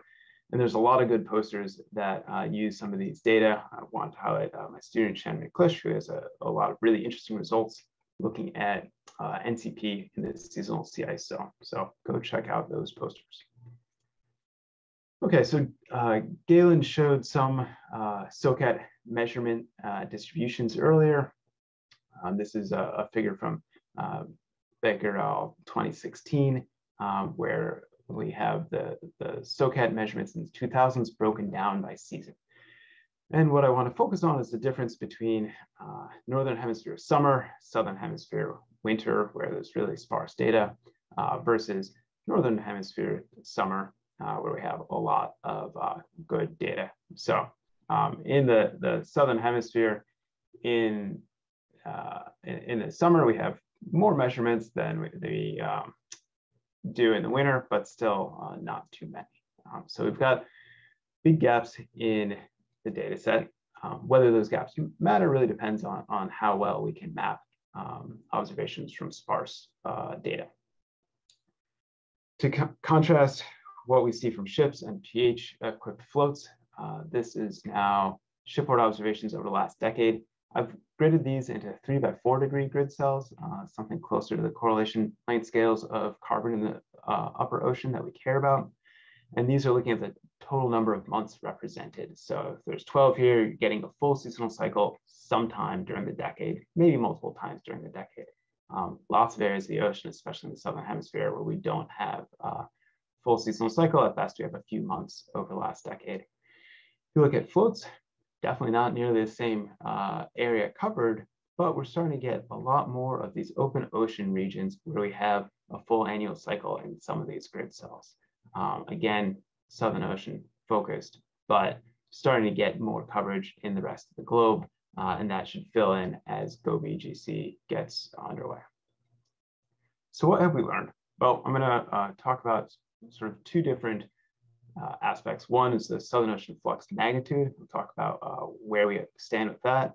And then we also can learn things about the importance of wintertime outgassing or resolving the seasonal cycle. And these are a bit different in that flux magnitude really depends on fleet-wide accuracy. So systemic biases are more of a concern than any noise, right? We care about accuracy, not necessarily precision if you're looking at large numbers of, of observations uh, distributed evenly. Whereas if we're looking at the seasonal cycle, systemic biases do matter. Uh, but in general, what we've seen is that where we're learning about the seasonal cycle, the magnitude of these seasonal differences between floats and ship-only products are larger than our possible biases. So we've got sort of uh, um, added uh, information there regardless of any biases.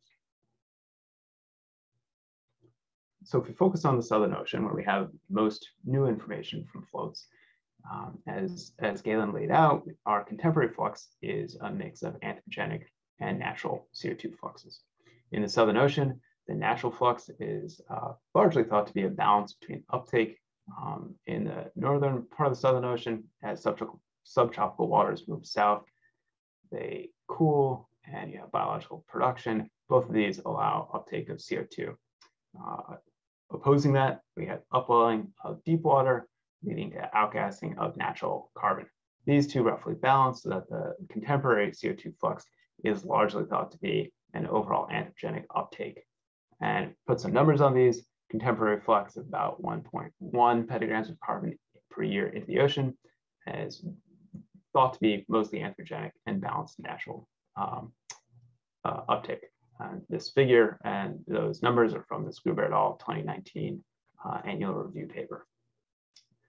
So when the first uh, SOCCOM float PCO2 estimates came out, um, we had this initial paper by Alison Gray and co-authors comparing float estimates of uh, air sea fluxes. So shown in these colored bars here, separated into different regions of the Southern Ocean from north to south.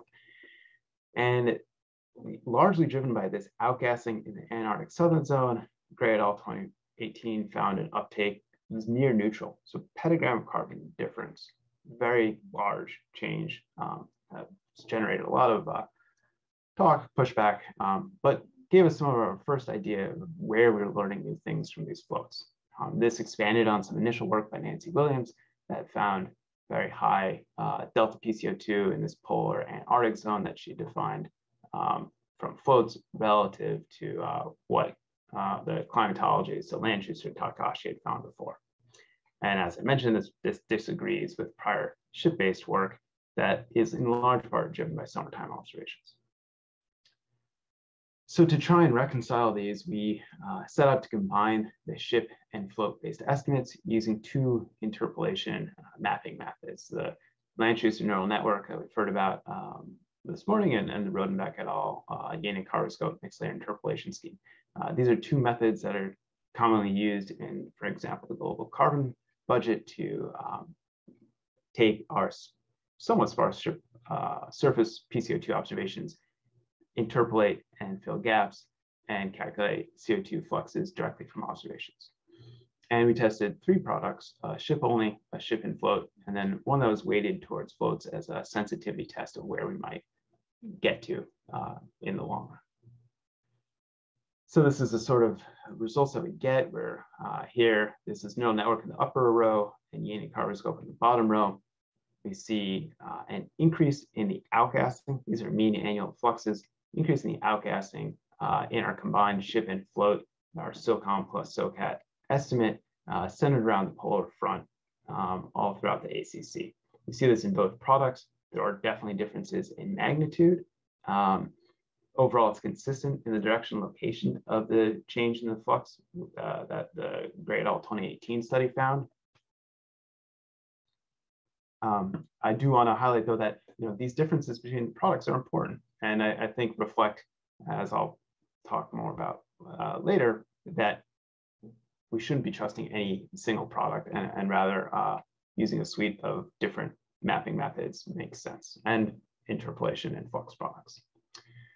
So where does where did this uh, combined estimate leave us? Well, um, we found a contemporary flux that's about uh, 0.4 petagrams of carbon uh, lower uptake in the Southern Ocean um, than previously thought, or than we estimated from the ship only um, data at the same time. And given that we have other independent uh, sources of information to understand what the anthropogenic uptake was, uh, we um, we thought that this represented a, a, change in our understanding of the natural carbon flux uh, toward more outgassing, and outgassing about 0.4 petagrams of carbon per year. Um, and this actually agreed with earlier work by uh, Laura Resplandy and co-authors that um, Ray Najjar was, was uh, previously talking about and building on, um, uh, where they also revised the natural carbon flux in the uh, southern hemisphere due to riparian uh, outflow. So where have we come since then? Um, here I have both the uh, neural network and Jena-CarboScope methods. This is now updated for SOCAT v 2021, so through to the end of 2020. And this is looking back over the last uh, 35 years or so. I have the SOCCOM and SOCATs. These are combined ship and float estimates in blue and our SOCAT only in red for both the neural network and Jena-CarboScope. Um, those are in the upper plots with petagrams of carbon per year. Uh, so this is flux into the Southern Ocean south of 35. And then the difference is plotted below. And one of the things that we were first unsure about was if the floats were, say, capturing some interannual variability that was just being missed by recent shipboard years, or whether it represented a sort of net uh, change in the mean flux that had been missing. Um, right now, it seems like this is not uh, necessarily interannual variability. Depending on which product you're looking at, the, the offset between the products, the, the mapped estimates that include the uh, shipboard measurements uh, only, and those that also include the float measurements, is around 0.3 to 0.4 petagrams of carbon per year. And uh, stable except for some deviations in uh, the Jena-CarboScope method, which seems to respond more quickly to any uh, short-term inter interannual variability. We look at the seasonal cycle. These are our five Southern Ocean regions plus the total Southern Ocean south of 35 south. Um, and so from uh, north going south here, we can go from 2017 so the, this is the, product in 2018, which went through 2017. We can look here and then switch to the 2020 product. Um, overall, we see, I'll just go back and forth a little bit. We don't see much of a, a huge change. The differences where we see them, primarily in this Antarctic southern zone and polar frontal zone, are fairly consistent. Um, so we're not seeing some large uh, jumps there were some initial very high PCO2 float uh, data, but overall it seems fairly consistent that we are, are maintaining this difference where we see more outgassing in this region around the polar front. And if we look at a 2015 to 2020 average of our contemporary Southern Ocean flux, we get about, the, you know, definitely within the error, uh, negative 0.78 petagrams of carbon per year um, for the last six years as opposed to the original three years. So we are, um, we'll be updating uh, combined data sets and adding them to NCEI um, so that if other folks want to use these, uh, they can. And as we get more pH equipped floats, um, we'll start looking at doing this globally and not just adding floats from the Southern Ocean. Um, depending on where the floats are, we may or may not learn new things about the, uh, the seasonal cycle, um, but that will also be a, a, good test as we have more floats in regions where we also have a better handle on the uh, shipboard, uh, on the seasonal cycle from shipboard observations. So that, that'll be great. All right, so one thing that has come up uh, time and again and that I want to talk about are how well do float PCO2 and flux estimates agree with other observations and other uh, flux uh, estimates from, from different sources of observations. So there's a few ways you can uh, look at how well the, the floats are doing. You can look at regional comparisons, uh, whether they agree across the seasonal cycle where we have both uh, floats and ships, which they seem to. Uh, where they disagree is, is where we don't have a lot of ship observations in the winter. Um, for time, I'm not going to uh, show these figures, but I will talk a little bit about our one-to-one -one comparisons, our crossover comparisons, where we see pretty good agreement. And then I'll uh, talk about some other flux estimates and uh, PCO2 comparisons from other groups. So uh, past comparisons with uh, float PCO2 found that there might be a bias at high of about two to four microatmospheres, looking at, at crossovers between ships and floats. I've updated this uh, for 20 uh, through 2021. This now is our SOCAT PCO2 measurements uh, on the x-axis, float PCO2 estimates on the y-axis. Uh, one-to-one line is in black, and these dashed lines are plus or minus 10 microatmospheres. This histogram on the right shows the differences. These are now SOCAT minus Argo. And overall, we see mean difference of about two microatmospheres, negative 1.8 microatmospheres uh, with a large spread, 15 microatmosphere spread. Um, centered around zero nicely. There are some, a few of these floats here uh, that seem to be um, high and a few that are low. So this is a pretty good indication that we don't have a very large um, systemic bias. It's certainly not within that uh, original uncertainty estimate uh, from Nancy Williams of uh, plus or minus 11 microatmospheres. Um, but there's also enough of a spread here and not that many crossovers. So you know, we're still, this is something to keep an eye on. There have been a number of other comparison studies that have tried to uh, estimate whether or not floats are getting things right. Uh, most recently, there's this uh, Wu et al. paper that came out earlier this year, and they looked at delta CO2 disequilibrium relative to delta O2 disequilibrium. Uh, using shipboard data, they found what they uh, believed was a, a, consistent and robust relationship, and then compared that to float uh, data and found uh, what they think is a bias of about 5.8 microatmospheres, uh, with floats being high. Um, other studies have comparisons. Adrian Sutton, uh, who we'll hear from next, has uh, done some comparisons with uh, sail drones and floats. Um, and there's a paper by uh, Mackay et al. in 2021 where they find a similar bias magnitude as, as the Wu et al. paper um, using a different approach looking at um, summertime profiles of DIC and trying to estimate what the wintertime DIC and uh, uh, pH would have been um, the year before and compare that to floats. Uh, there's also this paper by Matt Long and co-authors from last year where they used aircraft observations and atmospheric inversion estimates to uh, calculate the CO2 flux south of 45 South. Uh, reproduced their um, flux, the seasonal cycle fluxes here in black, that's the long L estimate, and they uh, spent, uh, they, they focused on the comparison between the uh, float, the shipboard estimates, uh, the float and shipboard estimates in the wintertime, and they see a, a pretty big difference in the seasonal outgassing magnitude. Um, although once you start adding in error bars, you know, there's a fair amount of overlap there. Um, but they have good agreement in the wintertime with shipboard and uh, their aircraft-based estimate that is lower than the outgassing that we see from the floats. However, if you look at the summertime, they see much stronger uptake than you get from either the floats uh, and ships together in our combined product or from uh, the ship only estimate. So, you know, I think it's overall, I'd say it's great that we have all these different groups comparing uh, estimates. And I think that is exactly what we need. Um, but oh, I'm becoming pretty convinced that we don't want to trust any one estimate. Um, and I think we need to try and find out the right way to take all the strengths of our different products and estimates and combine them uh, so that we, we can either come closer to the truth or come closer to a, a, better understanding of the uncertainty. So it seems like we do have some possible bias in the float data between one and six microatmospheres. Um, that's been pretty consistent from early on. Um, there are groups looking uh, into that. I'll talk about that in a second.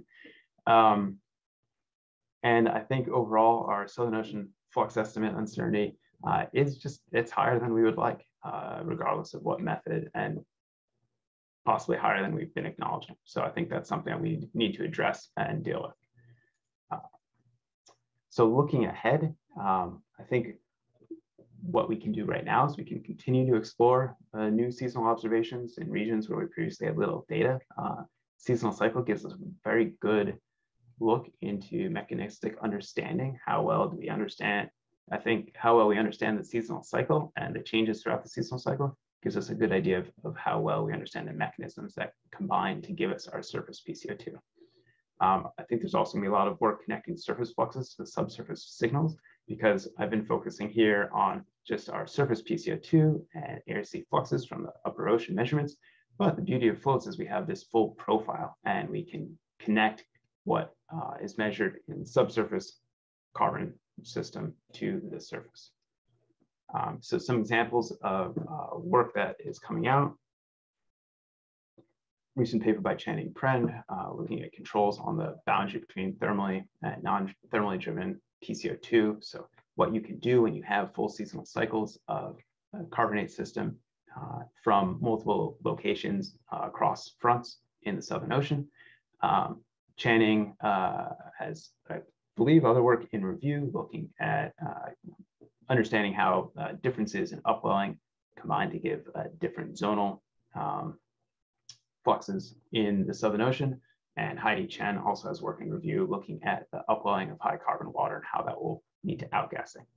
Um, I've got a paper in review with Ivana Cerovečki looking at subantarctic mode water formation. So this is an example where uh, you know, we now have float observations in these very inaccessible regions from the wintertime where important water masses form. So we know subantarctic mode water takes up a lot of anthropogenic carbon, but our understanding of how and why it does that really comes from models. So here we're starting to actually have wintertime observations uh, where we can look at, say, what the delta PCO2 is in this water and understand whether it's participating in the contemporary uptake of CO2. And this gives us validation data uh, to understand how these waters take up anthropogenic carbon as well. Um, and this is an example of where the, the differences between the float and ships are significant and much larger than uh, at least any current estimates of bias. So these are float uh, delta PCO2, there's a large spread. We're capturing a very large uh, region of um, subantarctic mode water formation, but these delta PCO2 differences between the floats and the ships are on the order of, say, 20 microatmospheres or so. So well outside of our, our possible uncertainties. Um, and uh, I am actually looking for a postdoc for this project funded by NASA. Uh, so if you're in the market for a postdoc, let me know. Uh, long term, I think we just need to be on the lookout for systemic biases in float estimates. Um, there, the OCSIF, the Ocean Carbonate System Intercomparison Forum, is working to resolve uncertainties in the pH that goes into our PCO2 estimates uh, with an eye toward improving PCO2 estimates. It is entirely possible that we have um, offsetting errors that are giving us pretty good PCO2, uh, but there's a lot that we don't understand. You know, we're sort of at the cutting edge of what we can do with pH uh, measurements and uh, estimates from floats. Um, and so uh, look, be on the lookout for some more uh, work coming out of that working group soon. I think we need to make sure to uh, try and use our observational data sets to the best of their respective strengths. So SOCAT has high absolute accuracy, uh, good temporal, you know, long time history, but not always the best seasonal or spatial coverage. Floats, we can start getting seasonal and spatial uh, coverage and variability, um, but obviously there are some downsides. We're estimating not measuring PCO2. Uh, sail drones, high resolution, for now regional, uh, those I think have good potential to fill in a lot of the gaps between ships and floats.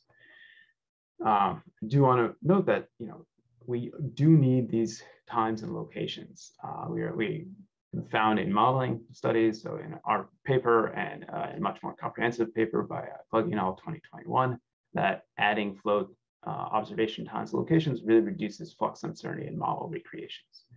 Um, and so, you know, we can look at a sort of time and space diagram to think about how adding float observations can help us sample uh, different things. You know, we're talking about air sea CO2 exchange, this giant gray bubble here. Um, if we think about what floats can add in uh, observing, you know, time, we can start getting to um, lower, smaller space scales using profiling floats. We can also start getting to, to higher resolution seasonal cycles from floats. Uh, some of these space and time areas can be sampled from ships, but it's hard to do that in a consistent long-term manner. And so overall, as I've said before, I think we need to be using multiple products, look for areas of agreement and try and understand where we have differences. Um, working to add more map products to combine uh, float and shipboard data sets. So if you uh, have a mapping method and want to add float data, please get in touch. So with that, uh, I'd like to thank the funding agencies that are funding all of this float work and observational interpretation. Uh, SOCCOM done a lot of hard work in getting these floats out and uh, getting these PCO2 estimates as good as they can. SOCAT, obviously, we would be totally lost without this long-term shipboard observational data set, and we, we are uh, in no way trying to replace that with floats. We just need to supplement in times and, and places where the SOCAT database can't go. Um, and then looking ahead, we've got GO-BGC, and I think that's really going to revolutionize a lot of uh, what we can do from our observational understanding. So I will go uh, leave my conclusions back up and be happy to take any questions. Thanks. Thank you.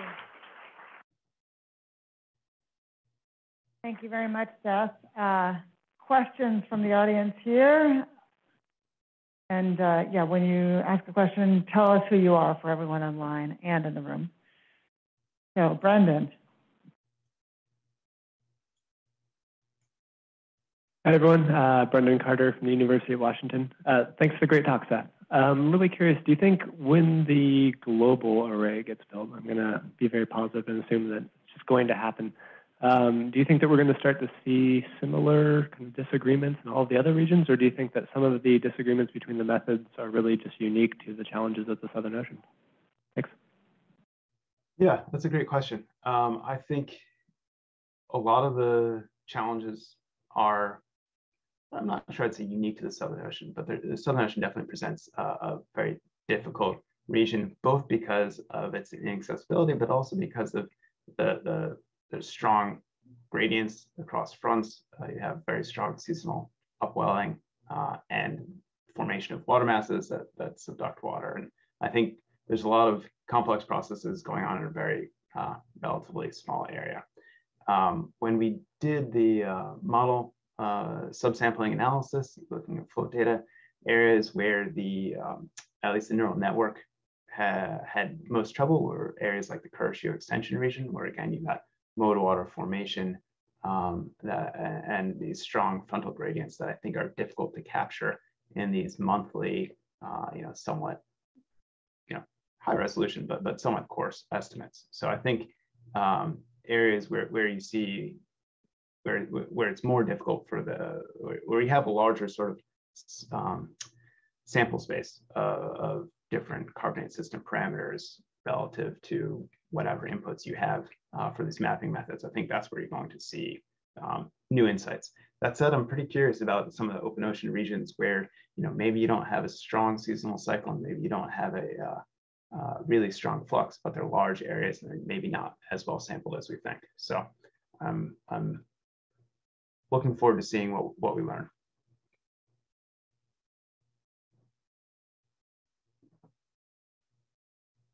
Do we have any questions online, Heather?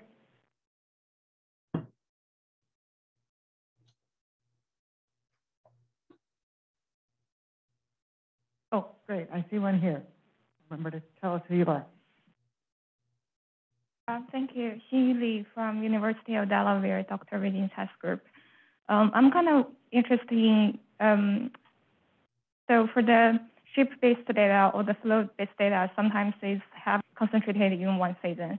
So when you estimate anthropogenic carbon, like if you really only use the data from one season, how biased it can be? Do you have like any ideas about that? Like if we only use summer data, it's like overestimated, like to which direction and how much it is? Thank you. Yeah, that's a good question. So most of the anthropogenic carbon estimates uh, don't come from direct air sea flux estimates. Um, in part, just it, you know, it'd be difficult to disentangle the natural uh, and anthropogenic fluxes. So a lot of the of our best understanding of anthropogenic uptake comes from ocean interior measurements and seeing you know, which water masses accumulate anthropogenic carbon and how much, um, or modeling studies. So for the accumulation, you know, the seasonal biases should be less important. Um, and that's in large part why when we changed what we thought uh, as the contemporary southern ocean flux, um, we interpreted that as a, as a change in the natural carbon flux, not the anthropogenic carbon flux. So overall, I think we're learning more about the contemporary and, and natural carbon flux by, uh, by difference um, rather than the anthropogenic. But I think we will start to learn more uh, about where the ocean is taking up carbon as we uh, improve, for instance, you know, using like Lydi Keppler's um, interior ocean DIC estimates. And as, as we can incorporate float data, we'll learn at a finer resolution where the ocean's taking up a lot of carbon. And then also I think we can get at the anthropogenic carbon as well. Okay, thank you very much, Seth. Thank you everyone for your questions. We're going to move on to the final speaker of this session, who is Adrienne Sutton from NOAA PMEL. Do you have a mic, Adrienne? Okay, let's get that. And Adrienne is going to be uh, talking about applying new observing technologies to reduce uncertainty of ocean CO2 uptake. Ooh, and there I am. Hello, myself.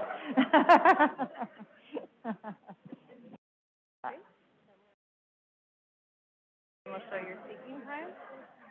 Over here also includes the five minutes for questions, so I'm gonna fix that, just.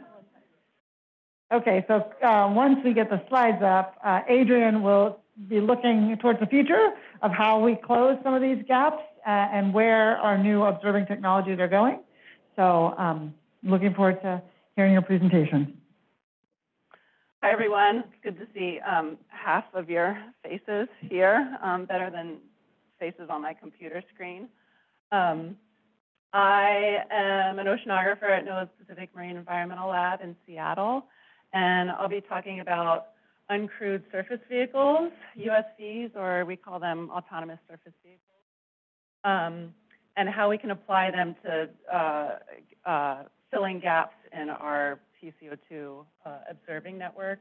And then at the end, I'm going to talk a little bit about how we may um, ideally sample with these um, USVs. I had a really nasty, like sinus respiratory combo a few weeks ago, and I have my tea up here and a lozenge, and I'm hoping I don't cough into the mic for people, but um, I'm not contagious. So hopefully we'll we'll get through this all right. So um, many, many people have been involved in this work um, on our autonomous surface vehicle CO2 technology, from our science team at PMEL to uh, our engineering group at PMEL. Um, we also had early um, uh, early adopters, so to speak, and, and um, those that tested a lot of prototypes and different versions of this sensor that were at um, CSIRO in Australia and CSIR in South Africa. I think it's really telling that the two research institutes that we partnered with early on are from the Southern Hemisphere. I'll talk a bit, I mean, we've talked about this this morning, but I'll talk a bit more about the Southern Hemisphere issue. Um, we also worked with a lot of engineers at, within industry, so this is definitely a, a multi-pronged partnership with the U.S. federal um, scientists and engineers and industry and academia. And then I just want to thank some other early adopters of our technology. Um, I think Sarah and Jamie are here. I'm not sure if um, else is, but um, they can also answer lots of questions about um, the Saildrone. And then I just want to acknowledge the funding, um, the parts of NOAA that funded the, the NOAA side of this work. Um, and then at the end, so uh, I'll start the talk primarily just talking about the technology, um, orienting you to that. And I'm going to end with talking some, about some model-based approaches for figuring out how we can um, technologies within the observing system, and I'll talk, talk about those collaborators then. So a big focus of ours was to develop technology that could feed um, direct measurements of surface ocean PCO2 observations into this already established value chain, where direct observations of CO2 are incorporated into the SOCAT product, which has been brought up many times this morning, and then used to develop those, those global estimates um, of CO2 flux that then inform regular climate assessments, which then inform policy.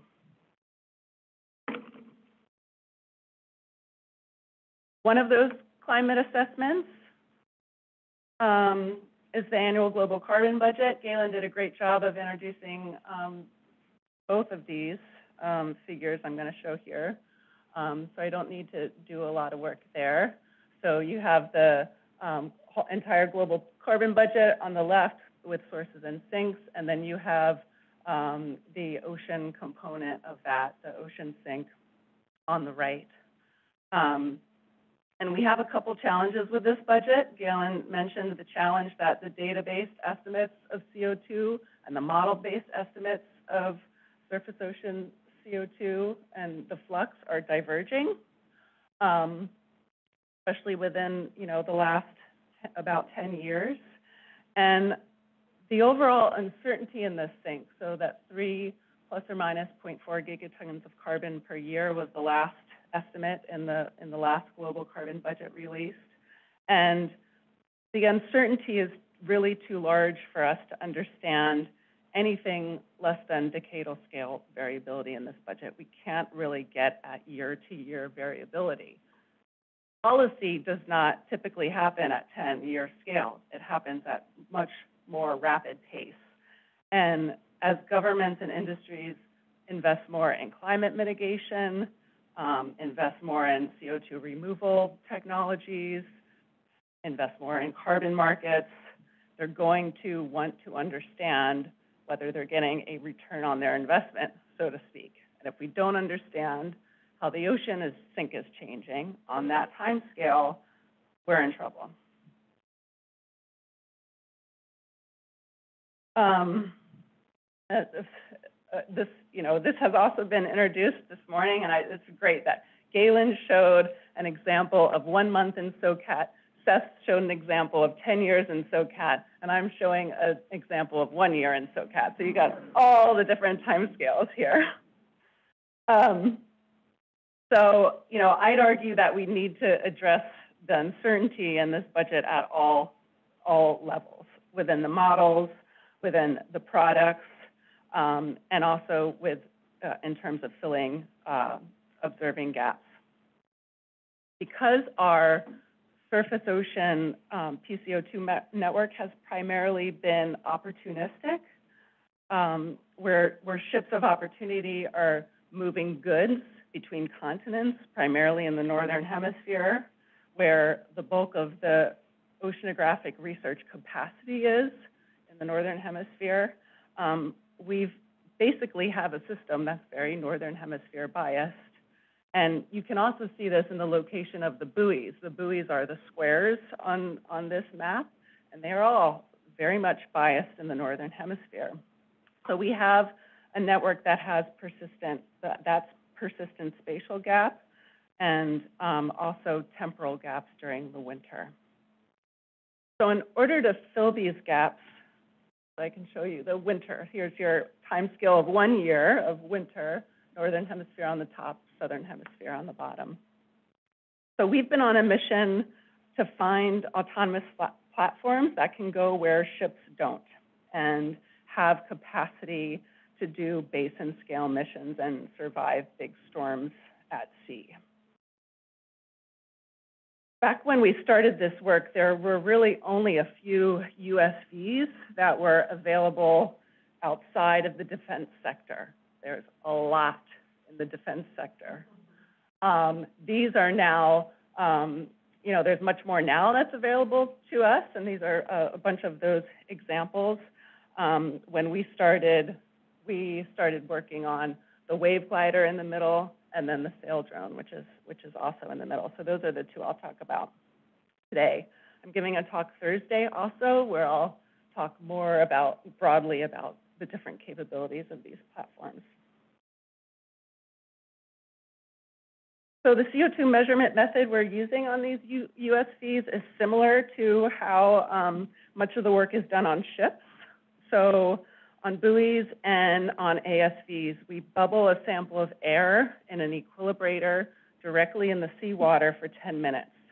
During that 10 minutes, the, that air sample equilibrates with the CO2 concentration in seawater. There's a demonstration of that um, equilibrator in that video.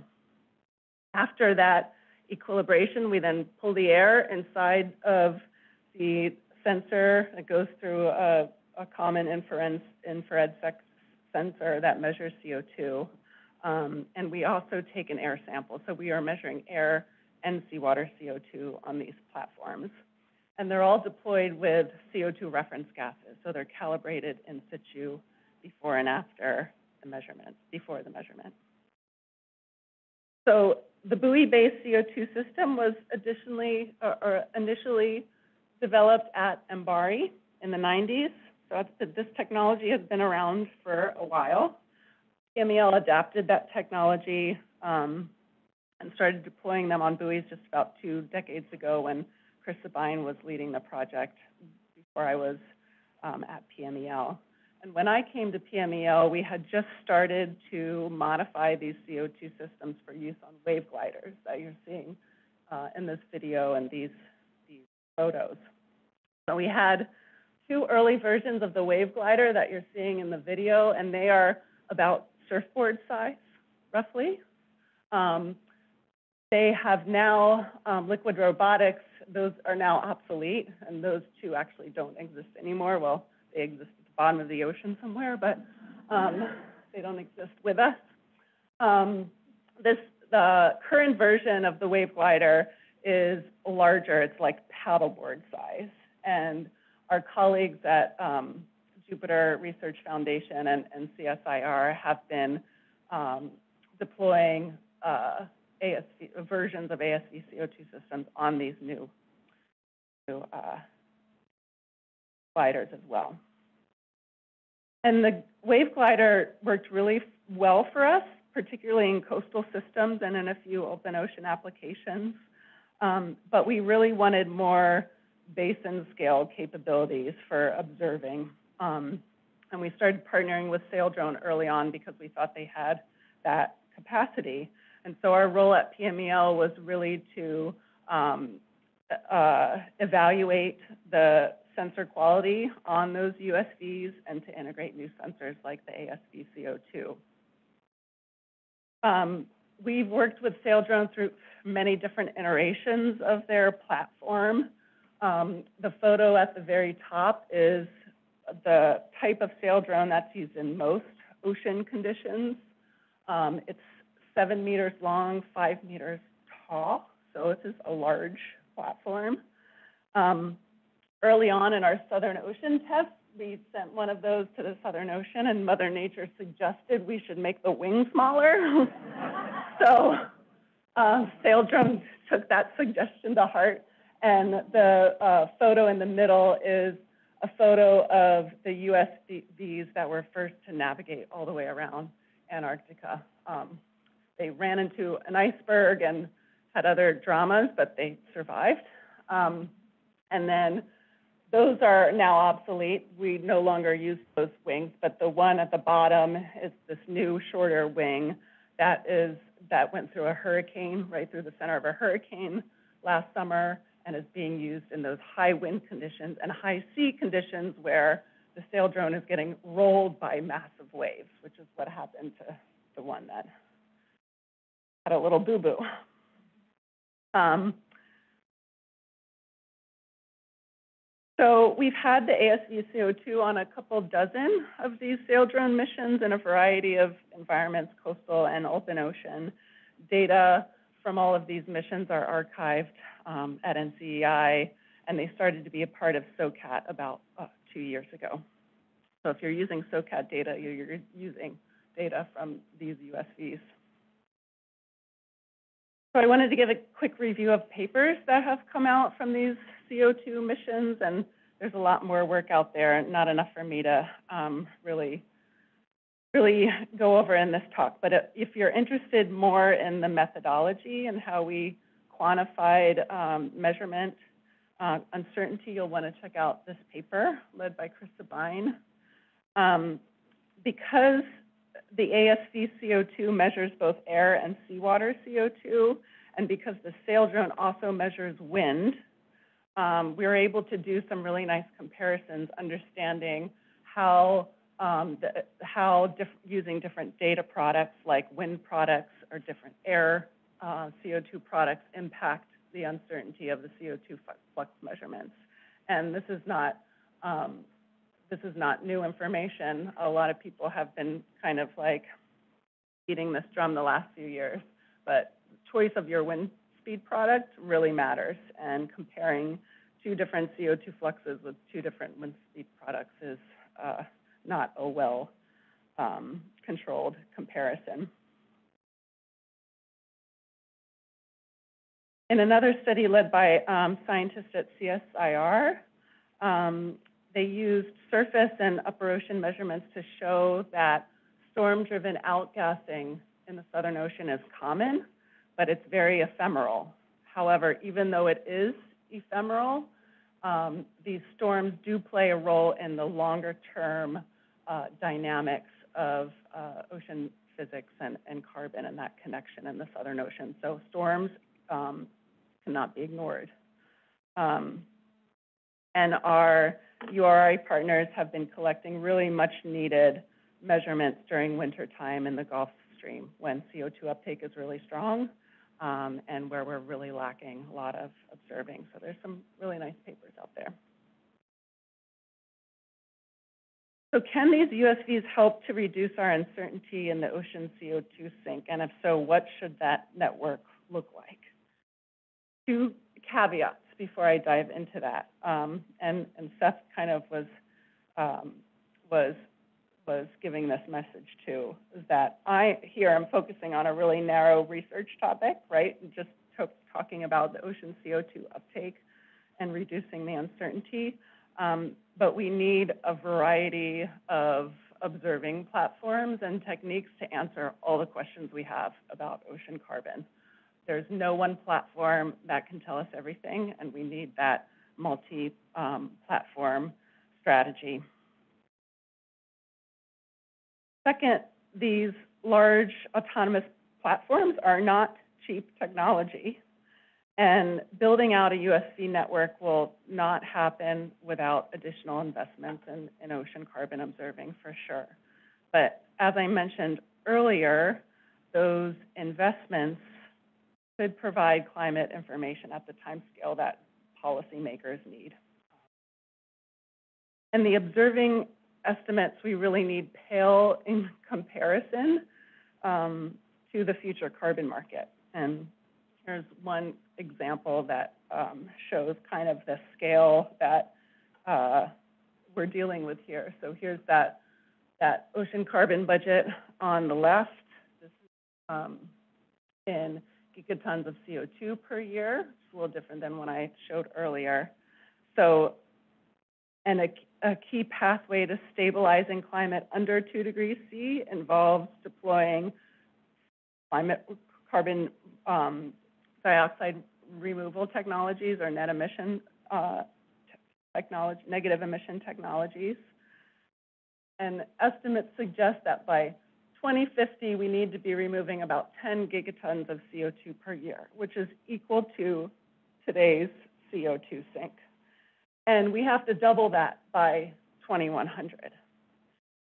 In order to get there in 2050, starting in 2030, which is seven and a half years from now, we have to be building hundreds of carbon capture and storage facilities per year.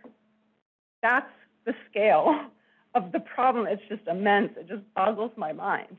And if we're going to make that kind of investment on a global scale, we have got to invest in better understanding the ocean CO2 sink. Um, so Galen did a really great um, introduction of this, which helps me a lot, so thanks. Um, Galen and um, Val Bennington have been working on uh, uh, looking at idealized sampling for, for Saildrone USVs using the large ensemble testbed that she talked about early this morning. So just a reminder of how these reconstructions are done using SOCAT is um, you take sparse observations, you develop relationships with, with satellite-based observations that you have good global coverage, and then you come up with these surface seawater uh, CO2 maps that you can calculate CO2 flux with.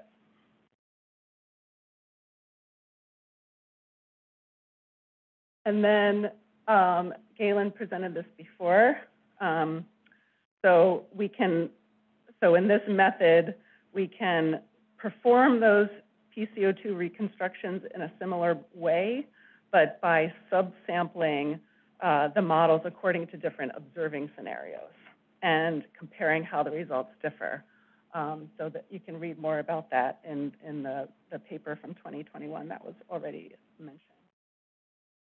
So the preliminary work by, by Val and Galen that has been done focusing on the USV data um, includes a slightly different way to reconstruct the PCO2 than, than the paper from 2021, but it's, it's pretty similar.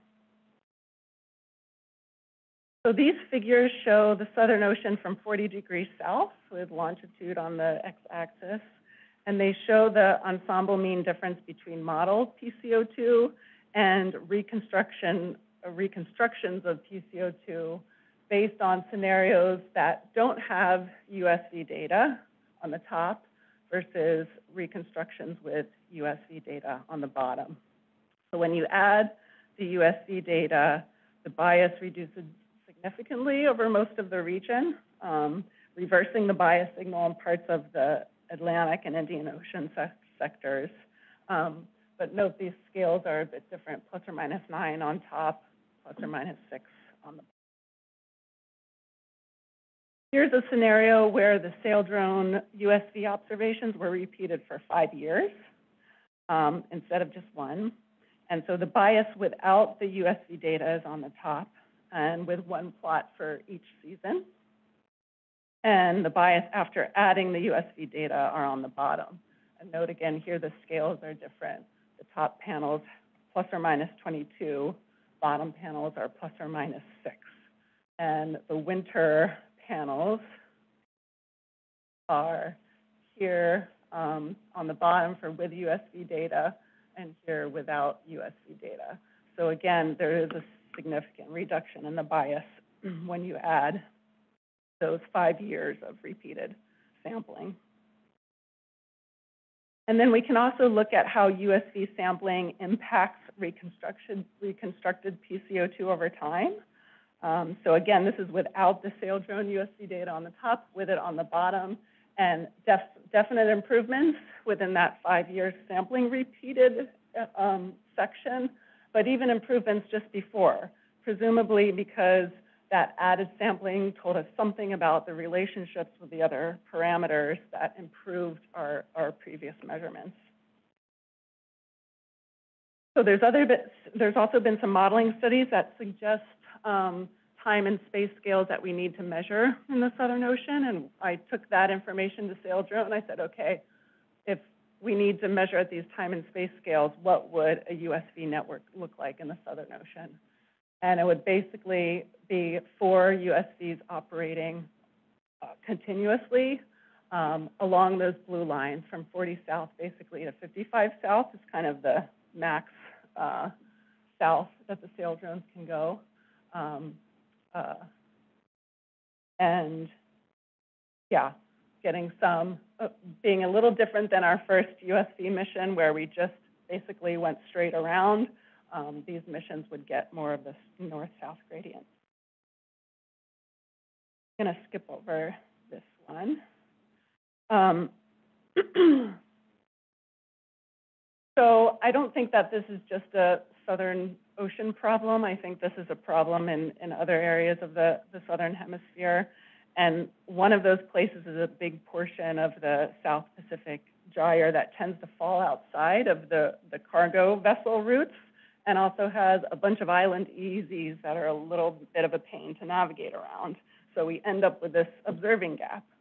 Um, so when those wave gliders we had were going obsolete, and we weren't going to be able to navigate them anymore because the navigation software was going obsolete. We decided to send it one on uh, last mission to this hole, um, observing hole in the South Pacific, and it ended up uh, taking great observations there for 550 days. So we ended up filling this this gap, um, and Dave Munro at University of Colorado Boulder and some other folks are working on uh, recreating a new Takahashi uh, CO2 climatology. And what I find really astonish astonishing is that when they um, include those measurements in this huge data set of 30 million measurements, the CO2 flux climatology changed by 5%. And I think that just really shows that there's some stuff that we don't know, and we uh, there's a lot of promise in going to measure in these places. So I just want to end quickly talking about gaps because our um, our working group was about gaps, and this figure shows um, basically the science to knowledge framework within ocean carbon research, going from collecting observations to understanding processes to informing climate assessments and policies. And within that value chain um, that I showed at the beginning, one of the, the big gaps um, is that we really lack a coordinated governing body that will allow us to bring together strategies for CO2 observing. Um, there's no, there's, there's no this has been an op, uh, opportunistic network, so there has not been a strategy there. And um, IOCCP and the G7 Future of the Seas and Oceans Initiative are working together to fill in that gap. And then there's also not a USV network in GOOS. And the Observing Air Sea Interaction Strategy, OASIS, which is a multidisciplinary effort with under the UN Decade um, is, is starting to uh, coordinate what a USV network may look like. Um, so I'm out of time, and I'll just leave there. Um, that gives you a silly picture, but it gives you a good scale of um, how big those things are. Thanks.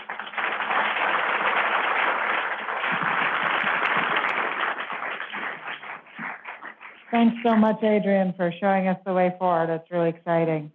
Uh, do we have questions? Okay, yes, one online. So we've got a question from Lynn Talley for Adrienne. How do you see the globally growing BGC Argo data set fitting into the air-sea flux mapping? We realize there are there may currently be biases, but those should likely improve as the data are incorporated in global mapping. The floats also provide interior observations that will constrain air-sea fluxes as is already done in state estimation for heat and freshwater fluxes. Yeah, great question. I mean, they, we need to understand those systematic biases. I just for scale, within the community that measures PCO2 directly, we squabble about biases of 0.5. And if we're, if we are, um, you know, within the floats, if we have questions of biases between one and six, um, we really need to nail that down. Um, but there is so much pro pr promise in combining those surface measurements and subsurface measurements for asking so many of the other questions we have. Um, again, in this final slide, my first point is about urgency. And that's why we were so focused on how can we develop technology that we can plug right into that, you know, value train, chain right now. And that's what we're, we're doing. But I think on the long run, there's, there's a lot of promise in that. Got another one. Okay, go for it, Heather. Uh, from Joellen Russell, Argo operates in territorial waters with an automated notification. How do these other platforms, including Saildrone, handle permission to operate in territorial waters? Given the diversity of platforms, is there a plan for handling permissions and for developing robust global data assembly centers? Yeah, that is such a big problem. There's such a diversity of, of USVs now. I think Saildrone and wave gliders are pretty much far along. Like if you do a Web of Science search for sail drones and wave gliders, you'll get, you know, hundreds of papers. But um, for any of the other systems, they're really quite new. But they are coming on the scene, and that's part of where I think OASIS is going to help uh, put put all of that together to make sure that um, those USVs are comparable, that there is a data assembly center, that it has all of those features of a network, because right now it is just a lot of pilot projects. Okay, last call for questions, and then we're going to have, all right, people are getting hungry. We are going to have a bit of a panel discussion here. I know Jorge online has a burning question, and maybe others have sort of more integrated question. How much time do we have for the panel, Heather?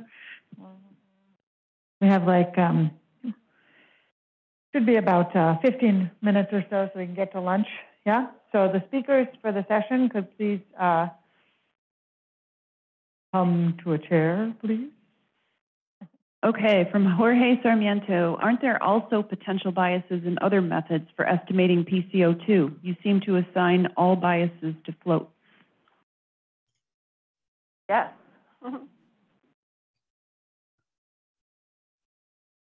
um, yeah, I mean, I, I, uh, oh, yeah, go ahead, Seth. I didn't know you were there. yeah, um, voice from the sky. So yeah, I definitely, it depends what you're talking about because comparing the float PCO2 to shipboard PCO2, I think, um, you know, we, we are pretty, we do have a lot more confidence in the shipboard PCO2 measurements than the float estimates. Um, as far as the uh, differences, for instance, the Wu et al. paper, you know, there's a lot of assumptions that go into those comparisons. So no, there I don't, I don't necessarily um, trust that estimate over uh, the float estimates, but you know, we want to look at this from a number of different angles and not just trust anything. So I think, I think bringing in, you know, oxygen is a great, great idea to help constrain the, the CO2. Looking at atmospheric measurements to constrain ocean observations, all these things, especially when you bring in uh, estimates that have different uncertainties that aren't necessarily correlated. Uh, I think that's that's a way forward. We just have to appreciate the, the differences and try and understand them. I would uh, like to add something there. Um, it's not only the, the, the, different biases between the different uh, the different measurements. It's also a question of um, well, let, let me put it that way if we don't have float observations in the Southern Ocean, I mean, you've seen the map from, from Galen, pretty much this, half of the Southern Hemisphere is not covered. So what we do is, at the moment, when we just take shipboard observations, we uh, interp interpolate two, 3,000 miles into the open. Or maybe, yeah, well, probably yes, yeah. So the question is not so much, oh, do the floats have five, six, seven, eight microatmosphere of bias, but rather, isn't 10 microatmosphere bias better or less uncertain than just uh, interpolating like several thousand miles into the open? And sort of this is this is for me the the, the, best argument to integrate both shipboard and float observation. Heather, yeah? I've got another one for Lydi or anyone. This is from Bob Anderson. If most ocean uptake of DIC is anthropogenic and not natural, how does this conclusion translate to mechanism? For example, reaction of CO2 plus carbonate equals to bicarbonate versus the biological pump. Mm, I don't know if I 100% understand the question, but um, I guess what, what I was only looking at was now the trend in the natural carbon. So we still have the background natural cycle um, happening. There's a lot of natural carbon going in and out, but it's if the purely natural in a steady state, that's not changing. So we've, we're ignoring that basically. So I hope is that is that answering the question? Yeah, I mean, can I just add? I mean, I think the the fact that the anthropogenic perturbation is a few percent on top of this huge background, the assumption is and seems to hold pretty well that we're not changing that background by this anthropogenic perturbation. Yet, of course, if we look out 50 years from now, Revelle factor changes will be happening, and then those are things that have to also be taken into account. But we don't have evidence that it has changed significantly to date, nor do we have evidence that the biological pump has changed significantly to date. It doesn't mean that it hasn't, and it doesn't mean that it won't, but we certainly don't have observations to conclude that it has, such that it should be included in the anthropogenic carbon sink estimates, right? Um, clearly, we need to, and we'll be talking a lot about that this week, which is great. But, but to date, the estimates of the anthropogenic sink assume a steady state, um, by design, assume a steady state biological pump. Uh, hello, I'm Zach Erickson, NOAA PMEL. I have a question that's based on Adrienne's motivation, but it's for everyone. In your motivation, you said that one of the big things that you wanted to do was provide um, data at a time scale that informs policy and very much subdecadal, maybe seasonal.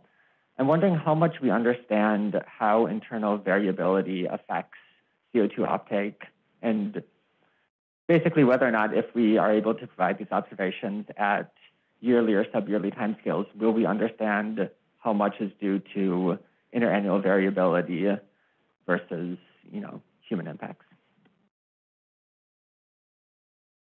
I mean, so when I think about that question, uh, I thought about interannual variability like my whole my whole career, uh, and uh, but it came in, a, in the last couple of years come to understand that the the variability in the sink to first order is dominated by the PCO2 growth rate in the atmosphere. That's the dominant driver, uh, and uh, we can see those changes. Um, you can you can make very back of the envelope calculations and calculate much of the interannual variability. So that's a big part of it. And, and that's really just because we're, we're just perturbing the system so enormously. I mean, over the pre-industrial background, the atmosphere is 40% higher than it was, right? And so that's, like I said, just Henry's Law driving carbon into the ocean. On top of that, that force signal, how much internal variability is happening? That's something we're really still struggling to understand. We know ENSO is a big part of it. But there's this Southern Ocean decadal variability that Peter wrote about in his 2015 paper that my group has looked at. It's definitely there and it's persistent, and we don't have good um, uh, mechanistic understanding of what that's coming from. Now, is it that the decadal variability is overestimated by all these products? That might be part of the story. Is it that the internal variability, the spaghetti line of where the actual climate system is going, just happened to have some big deviations and we don't really know why, um, we, but, we're, um, yeah, it's, it's, there's a lot that we still don't understand about those mechanisms of internal variability. But the hope is with better observations and reducing those uncertainties, that's what we'll be able to uh, pull that out more, more accurately. So that's the goal. Uh, but I would say we're still working on it. So I want to add one thing to that, and that, you know, my motivation, I was talking primarily about the global carbon budget. But when we start to get to situations in which carbon dioxide removal projects are being implemented in the ocean, we have got to get our stuff together when it comes to being able to monitor and verify the carbon sequestration of those projects and understand the ecosystem impact. And to do that, you have to understand all the natural variability that's happening in that region. And we don't even understand that. We don't understand the background state enough to know what's going to happen when these companies go out there and start putting these projects in the ocean. It's just, we have so much work on that. It's just overwhelming. Hi, um, this is Jamie Palter from the University of Rhode Island, and um, thanks for an awesome first session, great kickoff. Really enjoyed it. Um, my question has to do with uncertainty, and so when we look at the uncertainties, uh, Lydi did a great job showing um, that we have like pretty good agreement now between these DIC methods and surface flux methods. They're both about 3 plus or minus 0.3, so it's like 10%. But then we think about any uncertainty in any given piece of it, like in the river fluxes, it's 0.3, and like if you thought about the air-sea gas exchange coefficient, like that's a huge uncertainty, bigger than 10%. And so how are we, are we kind of getting this global estimate to agree so well? Is there a bit of luck? Um, and what does it hide in terms of our understanding or but maybe you could comment on, on, and I think that's your theme, right, is the gap. So where is that hiding, all that uncertainty? I, I would like to say a few words to that. Yeah, that's, that's what I, what I wanted to say in my introduction. So if you want them to agree, you can make them agree. You can turn it around. If you don't want them to agree, you use a smaller river flux correction. So they start, as Lydi said, from 0.2 up to 0.8 with, uh, with a uh, raised number in between. So if you want them to agree, you have to take the higher number. If you want, don't want them to agree, you take the lower number. So there's a few key uncertainties, one of them being the river flux. The air-sea CO2 uh, gas exchange is obviously a, um, a, big one as well. So Alizée, uh, who's here as well, she estimated that one to be about 20% of the of the net flux. The, the beauty of the interior uh, ocean accumulation is that it doesn't have that uncertainty. So um, so we can actually constrain it and a bit of that that uncertainty from the interior. Um, another one that hasn't been addressed much uh, today was is, is, area coverage. So we still sort of don't don't include marginal seas. Uh, the Arctic is only poorly uh, incorporated in this, this PCO2 estimates um, also in part because we don't have satellite measurements in high latitudes. Sea ice zones um, are also part of the uncertainty. So yes, there's a, there's a red tail of corrections that we have to apply to make them comparable in the first place. And then you still are, you know, have, have a, a combined red tail of uncertainties that you that you have to consider. So I think we're getting closer by sort of improving every single component of them, improving sort of the sort of what what the surface PCO2 upscaled measure uh, upscaled uh, estimates are good at is um, sort of reconstructing the sea surface PCO2. If we can sort of uh, in the same time sort of improve sort of our understanding of the SCO2 flux, we can reduce the uncertainty there. If we sort of are, sort of getting better in sort of incorporating ocean regions that have previously sort of not been recognized and sort of improve like the knowledge of the, the river flux, like um, like Ray presented. So if we can sort of reduce the uncertainty of every single puzzle piece will, in the end, reduce the uncertainty of the, the individual components. And then we can do this comparison again, I would say. And then, then we sort of, you know, then it's not, not a cheating game. Then it's really, uh, then we will see whether we agree or we don't agree. Maybe to add on as well, um, because you asked about if is it luck that they agree. Uh, so uh, um, I think if we if we look at individual grid cells and compare them, we're we're not as confident, and locally the uncertainty can be um, a, quite a, quite high. But then when once we integrate globally, um, an underestimation here can be offset by an overestimation here. So the global or like the basin scale estimates, I think they um, they agree really well with each other. For yeah, not necessarily luck reasons, but yeah, by by the fact that things cancel each other out. Uh,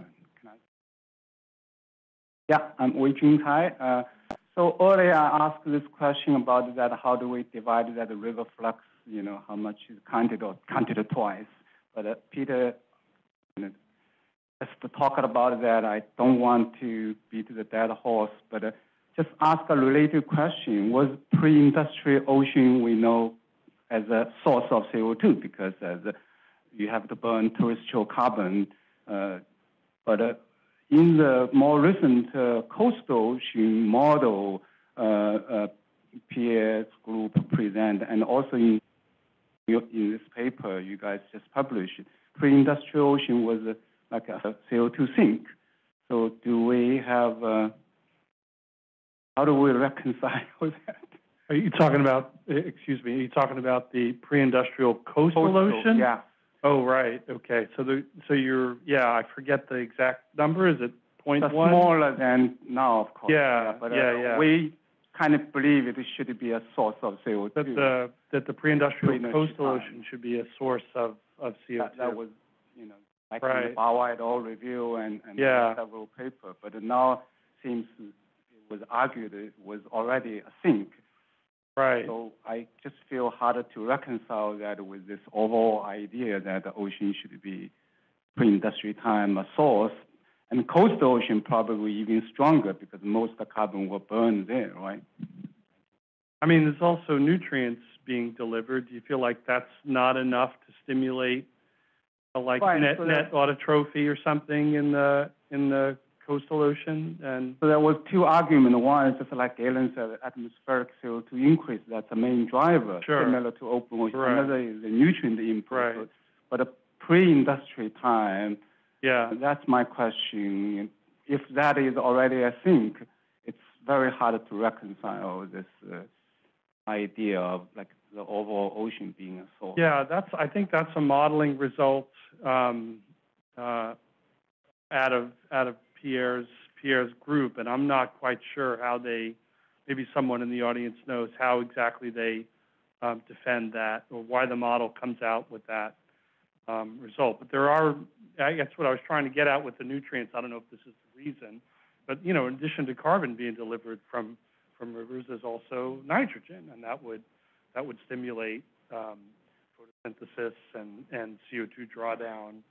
And that could be part of, part of the reason why there's a CO2 sink in coastal waters. But, but I really, I, I don't know exactly what's going on in that, um, modeling. Yeah. So I think that this number comes from the, the study of Fabrice Lacroix and Timothée Bourgeois, so from the MPI models. And their study, they said that we underevaluate the nutrients impacts. So um, their study just highlight that maybe the pre-industrial, it's a coastal ocean is already a CO2 sink. But there is still this debate, you know, somebody thinks a CO2 source and other CO2 sink. So yeah, from the modeling approach. Okay, let's go on to another question.